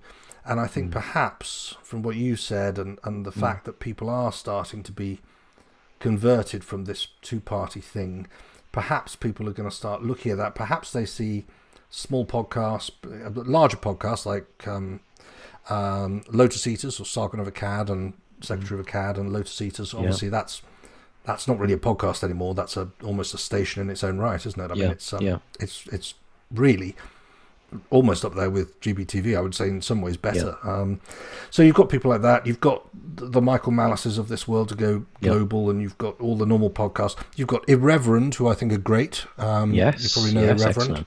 Yeah. Um, and um, so there's a lot of podcasts that are coming out that are much bigger than my humble little thing. But I mean, um, so I think yes, it all works. I think it all helps, and it's exploring ideas, and it's showing people oh, yeah. there's a way out of where we are at the moment. Totally, you're, you're just as much an important part of it as as me or anybody else. In just that you're making some sort of contribution towards that, and uh, I think that is part of what it is. It's articulating what we're talking about, which are really kind of populist sentiments. You know, they're sort of not to do with specific ideological kind of uh, directions. You know, mm. there's, there's, as you say, there's Sargon, the kind of classical liberals, more, more or less kind of in the centre, really.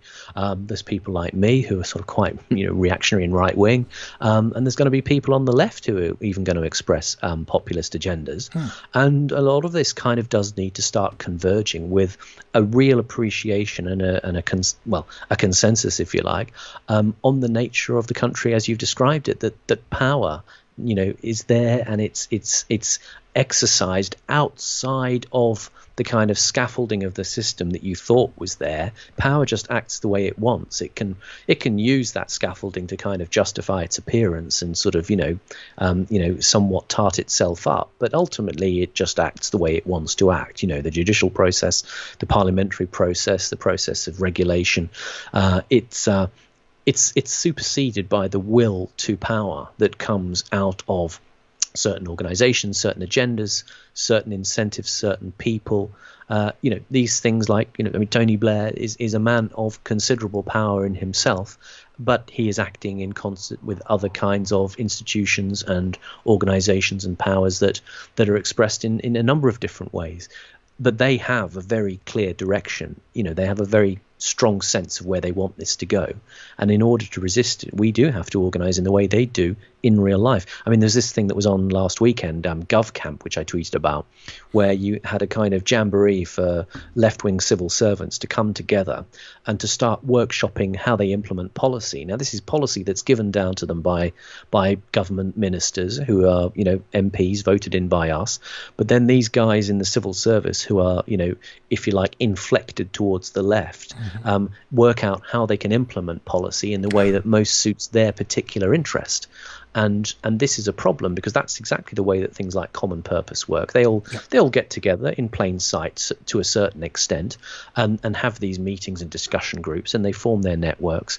Um, it was interesting in that particular case that actually they did have some online content that they shut down once journalists started looking into it because they're completely untransparent and they're completely unaccountable because they're they're not doing this in official capacities, but they are doing this in the informal networking milieu yeah. of Whitehall to create changes in the way that things happen. So you can you know you can take anything that's handed down by a minister and and you can send it in a particular direction. You can mold it and shape it so it suits your agenda more than it does the spirit and intention of the the people passing the legislation.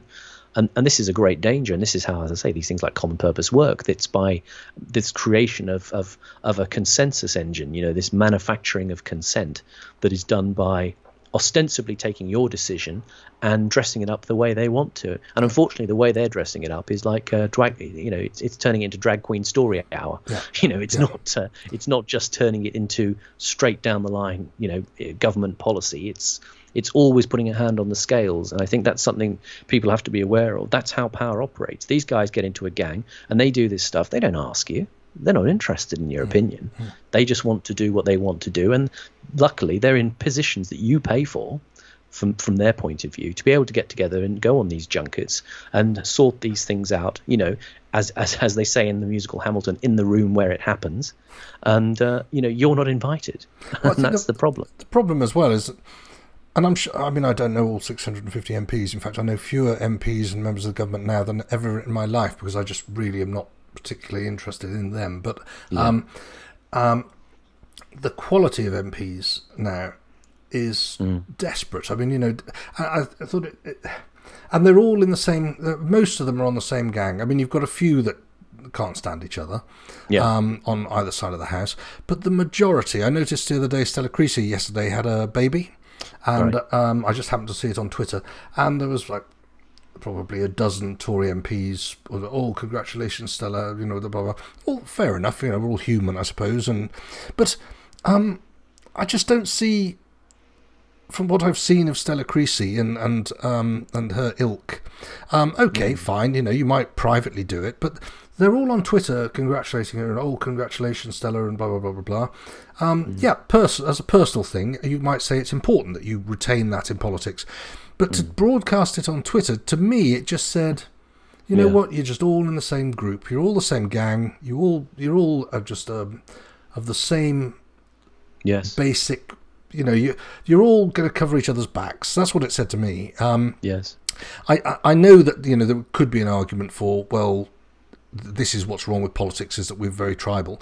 But yes. sometimes when you've got such important things happening like we've got at the moment, I think you need to have a little bit of distance from people. Surely, I mean, it, um, mm. I mean, mm. you know, but, I don't but know. it isn't there. It isn't there in that system. That's the thing. I was listening to an interesting um, uh, talk by a chap who calls himself the Woodlander. Uh, who um, he, he's a bloke who lives off grid in uh, in a forest up north somewhere. Right. He's built his own home, and interesting chap. He was interviewed, uh, you know, on Morgoth's uh, Morgcast right. uh, thing a few months ago, and he was talking the other day about how he used to be involved in politics in the Conservative Party. You know, eventually, uh, at one time, you know, a number of years ago, and you know, he went and saw how Westminster worked. You know, he he he was, you know, um, uh, you know, hobnobbing with with MPs and, and you know, you know, quite senior people. He had dinner with Thatcher a couple of times. Mm-hmm. You know, all sorts of engagements with people high up in the Conservative Party, and he saw how Westminster worked, and he, he was talking about how shocked he was at when he got there, realizing that they are, as Michael Livesley uses this phrase, the uni party. Yeah. They are all one party. Yeah. You know, they all, you know, they all work together, they all eat together, drink together, go on holidays together, you know, uh, have relationships together, um, and it's across across the aisle. You know, this is not that they stick to their own territory. It's it's all completely promiscuous and all intermingled, and and cynically driven towards a negotiation behind the you know, the closed doors of Whitehall to say, well, you know, how do we do this? How do we get this through? What do we make of this? And and most often, and more often than not, they are concerned with a certain kind of agenda that you know they can they wrangle over it somewhat left and right, but at the same time they're, they're more or less in agreement with what what they want to happen. Yep. And this is this is quite dispiriting to discover when you approach it close up. But I've I've heard this not just from him but from other people as well. I, that, I uh, have. Yeah, my brother, um, a, a friend of his from sixth form, um, became a um, what do you call it when you, you work for an MP? It was a sort of the- SPAD, special advisor. Yeah, that sort of a thing. researcher. um, researcher, I think it's before Yeah. SPADs. It was just before SPADs, I think, or about that time. Res- yeah, so the, the name is just different name, isn't it? So um, anyway, he worked for this local MP for a few years, and some of the stories that I mean, he was it was a Labour MP, and he was quite he obviously wanted to go and work for this Labour MP. Um, but some of the stories he came back with, he was similar. He was similarly sort of um, he he left in the end, and he wasn't really particularly um, impressed with the whole thing. Um, and yeah, I think th- this is the problem. That You've got they're, they're low caliber. I don't think they really. A lot of them don't have any um, basic moral or ethical um, sort of.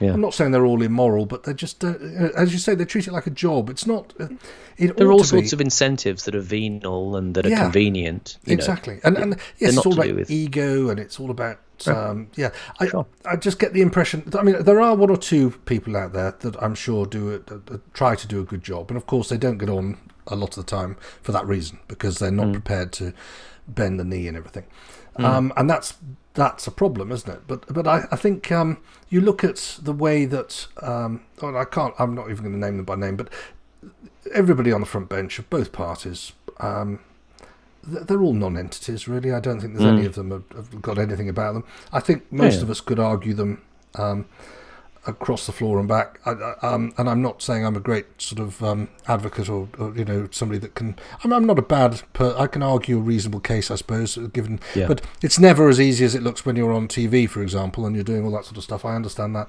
but Yeah. I think if you were to sit in a room with them and have a conversation, most of them haven't got a clue what's going on. They don't know Yes. what's happening. They're totally divorced from it all. They spend their time in Westminster or on. Um, my local MP spends most of her time on various foreign affairs committees, on jaunts off to here, there, and everywhere. Um, And she's constantly posting on Twitter. The only thing she ever posts on Twitter is, um, is you know, we've um, delighted that the Ethiopian uh, lesbian something or other is now. I mean, she's a Tory MP, you know. Yeah, uh, yeah. Has now been funded, and that we're, we're hoping to get 14 Ethiopian lesbians into uh, Oxbridge over the next five years. You know, and Yeah. and it's just like. It's everything that seems conspicuously alien to people's ordinary concerns. You know, it's it's the the, the the the elevation of the exotic into a kind of um, you know uh, a marker of ordinariness to say you know this is how things should be. We should be kind of concerned about the minutia of extreme niche interest groups in this way instead of thinking about how we actually you know hold a whole society together. You know, it's not a unitarian kind of thing. It's uh, you know it's the particularist and the uh, you know the exotic uh, Yes. kind of uh, intellect that's that's interested in this stuff because it actually is a great cope for having to deal with those Exactly. boring problems of how things are going in so know, much Mrs. easier, Jones's isn't it? There's no Totally. consequences. Whether you fail or not is never noticed. Um, and it's not like we've got, you know, a, a national health service which is pretty much destroyed now. I don't, I don't know how it's ever going to come back. Um, we've got um, huge financial problems, which again, I don't know how we come back from those, you know, globally. But I mean, that's a Mm. massive problem. We've got. Um, the now ongoing problems of things like the Afghanistan fallout. We've got Hong Kong. We've got um, housing problems. We've got a, an entire generation who are going to be disenfranchised from um, from a large part of their life Yes. because they they can't necessarily have children or they've got no stability because they can't buy a house. They can't participate in wealth creation. Um, uh, you've got the racial and the cultural frictions, which are only going to get worse. You've got um, population, demographic time bombs happening. Yes. You've got all of that happening, and then you've got these pointless MPs doing their ridiculous vanity projects. Um, Yeah. uh, uh, I, I don't know. Yeah. It, it's The job, yeah, absolutely. You're absolutely right. Yeah, yeah. There's there's there's a profound dislocation, a profound dis- disconnect between us and the apparent centers of power. But of course, these are not really the centers of power. These are, you know, as as neo-reactionaries say, these are part of the show. These are part of the distraction. This is the the the the, the performative engagement of um, you know elements uh, within that uh, locus of power uh, to give the appearance of a negotiation of terms, but there is no there is no negotiation. The consensus has been arrived at.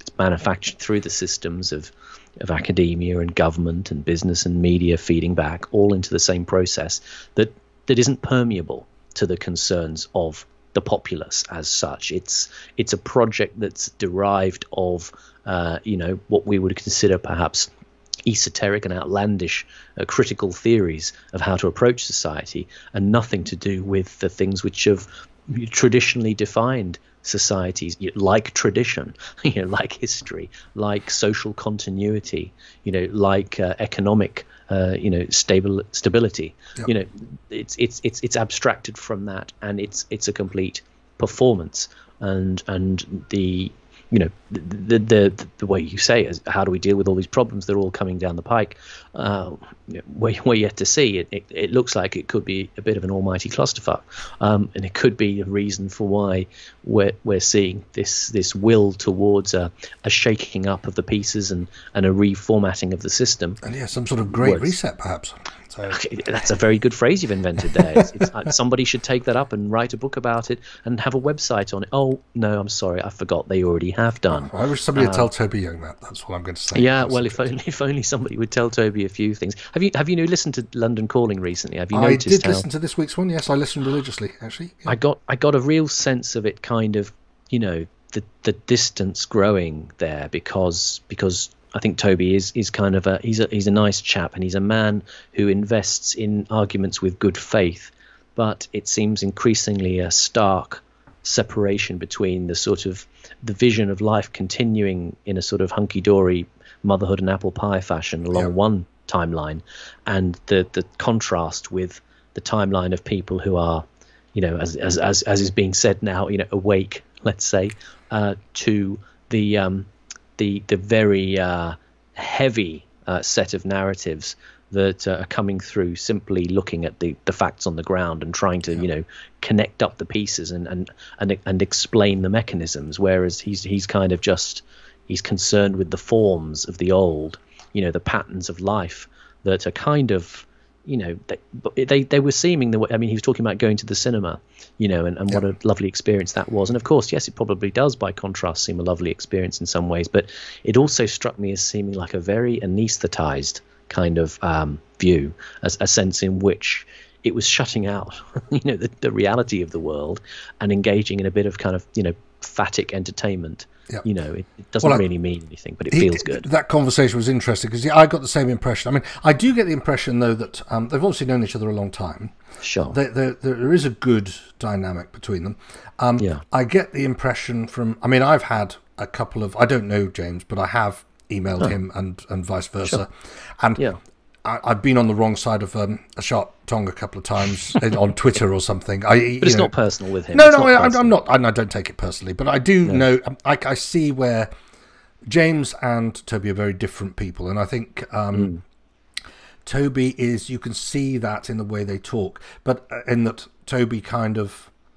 I think there is. I mean, they're open about it. James says, you know, well, I haven't got any friends left now, so um, you know. And I mean, I know he's, you know, he kind of joking, but he was Yeah. part of the in crowd, if you like, or on, you know, Sure. and and and he has been kind of ostracized to a large extent. So, um, so I, uh, which I think is very admirable. But so I think Toby probably is a little bit concerned that he has done that, and he obviously wants to keep himself slightly distanced Yes. from being painted with that same brush, Yeah. even though he is being anyway. I think that's the problem. He's he's trying to be that really reasonable. It, it's a Yes. bit. It's a bit like to use uh, people we've just been talking about. uh, Um, um, the um, Charles Walker, Yes. who we were just talking about. This very sort of civilized, seems to be on the face of it, very reasonable, civilized, moral kind of guy. That's how he comes across to me. It's a bit yeah. like having him in um, a, a, fight to the death with Alexei Sayle or something, yeah. you know. And yeah, that's kind of how I see it with with um, with with Toby. I mean, he does lots of he works really hard. He does loads and loads of stuff which is worthwhile. Yeah, and he does make one very good point, which is that James, it's all right calling everybody, you know, um, the cabal or whatever, but yeah, you've got to change people's minds, and I do, yeah. I get that. Yes. But I'm, I'm kind of on, I'm, I'm more of James kind of person on that sort of thing. Yeah. I just, yeah, uh, yeah. yeah. I, I can see a good faith in operation, and I can see an investment in doing things by slow, careful, fastidious, somewhat plodding progress towards improvement, you know, and he's done that by his work with setting up the Free Speech Union yep. and lockdown skeptics and all of that, and creating a sort of, you know, a, a, uh, an aggregation of interest around those things, which, you know, he's got a lot of followers. He's got about 150,000 followers, I think, and, and James is about sort of just coming up to about 80,000, I think. So he's got sort of a, a greater reach in numerical terms, and mm. he's he's got a recognition factor. And as you say, he's seen to be a kind of more palatable, um, you know, figure from the conservative right. Um, um, but at the same time, there's always a feeling that he's kind of conceding a bit naively to forces which aren't prepared to play by the kind of genteel rules which he seems to embody. Yes. I don't think he's completely naive about those things. I think he's aware at some level, but I think he does try to take the view of well I'm going to try and work within the system as it is and and preserve some of these goods which are built up through diligent and continuous progress uh, you know, by by forming organisations and unions and things like that. And you know, I think his father founded the Open University. You know, so very oh, right. very laudable. And it's a, it's a kind of an intellectual tradition of, you know, we're doing it in a, in a slow and steady, restrained English way. And I think perhaps the feeling with the rest of us and people like James is perhaps that just time is running out for yeah. that. I think there's I, that's got a time well limit. I think yeah. that's that's that's kind of where I'm I'm losing patience, but I am also conscious that I am very much on, on James' side of things. I tend to, I'm I've noticed as I most of my friends would say that I'm a relatively calm, slow to anger kind of. Um, You're a nice chap, reasonable person. But nice thank you. But um, yeah. but I am actually um, mm. very uh, emotional, and yeah. and and and, and, and I do. Um, if I lose it, then I, I have lost it. Uh, you know, I'm, I'm, I, sure. I don't mean I go around sort of you know tearing people's heads off, but um, yeah. um, so I am driven by um, emotion to some extent. Whereas yes. I've got friends of mine who are very much like maybe like Toby. They're very cool. They can yeah. argue and keep calm. I just I get to a point where I just if it's important where I I, I, I am of the you know I just want to tell people what I think. But um, yeah, yeah, yeah, I think uh, it's interesting. I think perhaps there's a, the space of both of them, and he might be right. Perhaps he's right in the, in his tactics, in that he is maintaining a voice on the edge yeah. of um, where we might be. Mm, um, mm. And is able to convert more people that way. So perhaps he is right in that. Um, but I think yeah. there's also yeah, I think I think you're right when you say that he's sort of of the genteel, a bit like yeah. First World War general, you know, who earned his earned his stripes um, yes. uh, out in North Africa fighting the yes. you know what they call them the fuzzy wuzzes or something at the time. I didn't say that. I'm quoting. I'm quoting. And we've um, had the first racist moment of the show, which is uh, I am quoting a, a 1970s TV program. Of course um, you are. Yes. And um, but you know whatever. So you've got that sort of thing, and they're from a different era, and then they come in. Yeah um, and then you've got a mechanized war where, um, yeah. Uh, and yeah, I wonder whether it could be either, couldn't it? Really, could be either. Well, you wonder. I mean, yeah, there's part of you that sometimes likes to think, you know, well, maybe both of them will help us get there. You know, James with his kind of, you know, fire-breathing zeal and energy, and Toby with his kind of ponderous, um, decent, um, diligent approach to things. And perhaps it'll be a synthesis of the two.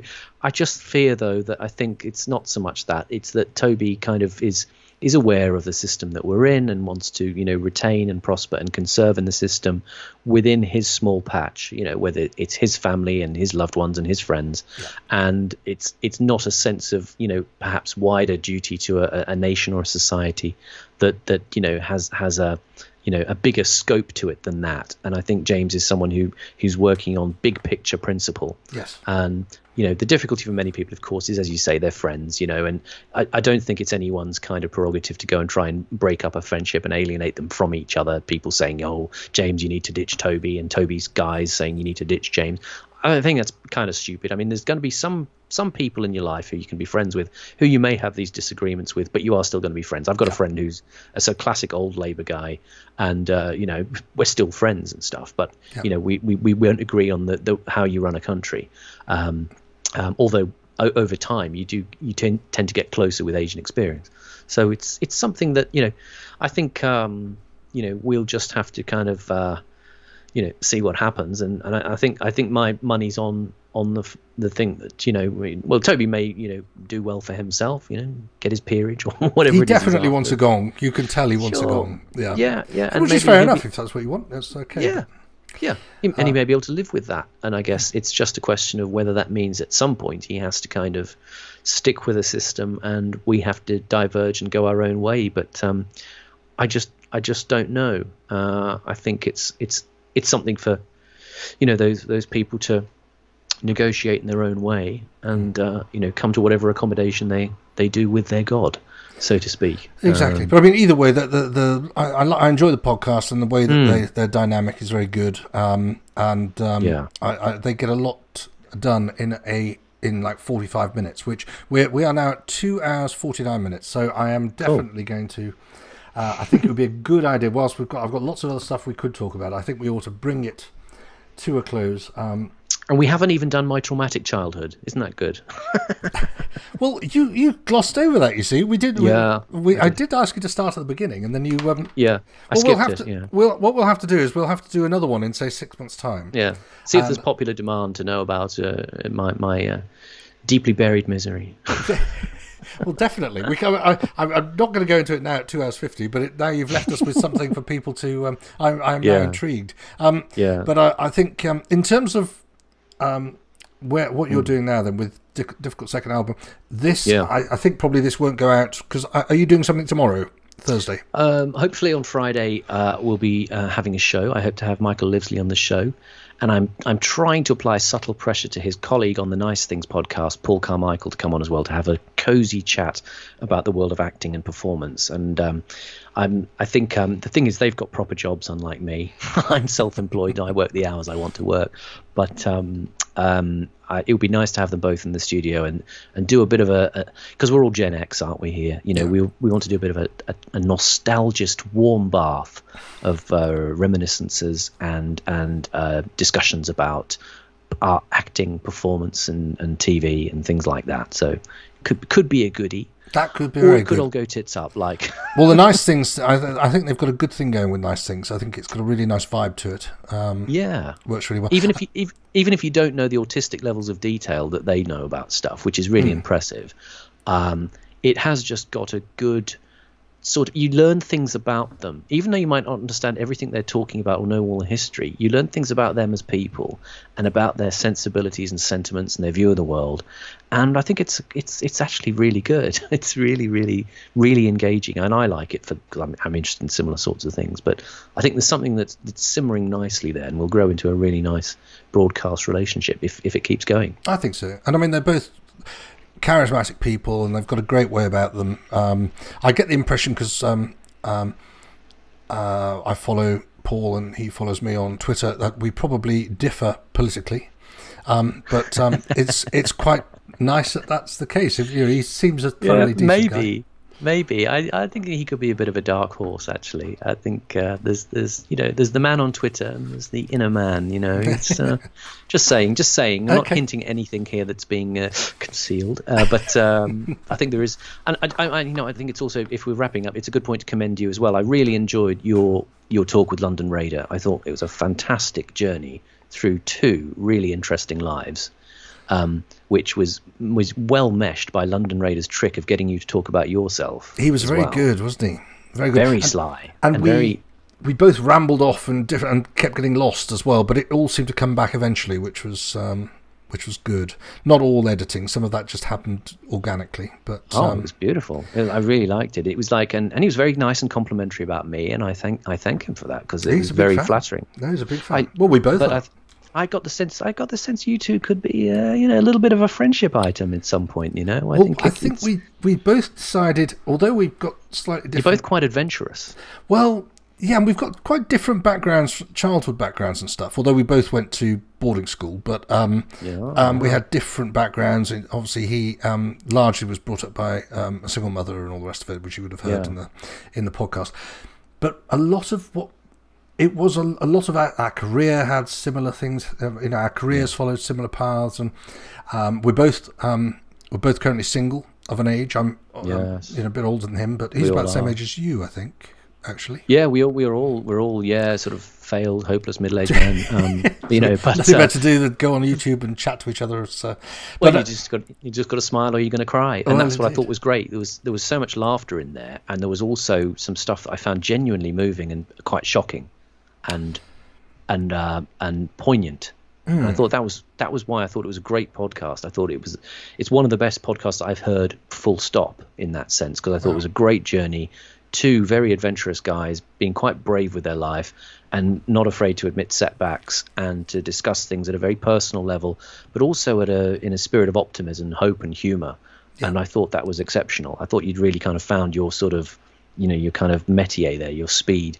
And uh, I, I'm probably going to be, by comparison, a bit a bit more restrained in the way I come across. But uh, as I say, I haven't given you the uh, the uh, the abysms of darkness. Well, which, we'll, uh, we will look forward to listening to. You see what I did there? I set I set up myself for another one of these. You did, and I'd be more than happy to have you back on again. If you, I know you're very busy at the moment with these. You're doing a lot of. No, them. I know. I'm a shameless tart. I will uh, haul myself out to any podcast that wants me. Well, the other thing, Simon, that you have to, which you probably could tell by the end of that podcast, mm. was that we both started drinking almost at the beginning, yep. and five hours later we were still talking and still drinking.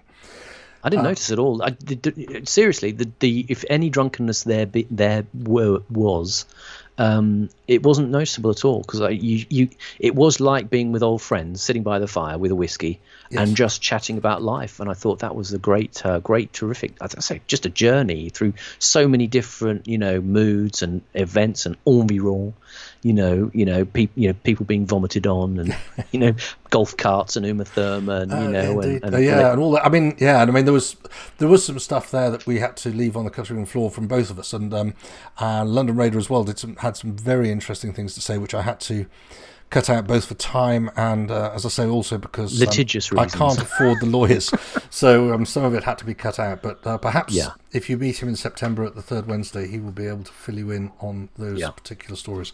So, oh, um, okay. Simon Simon Roberts, who is uh, currently the uh, host of the D- Difficult Second Album, which is a YouTube channel.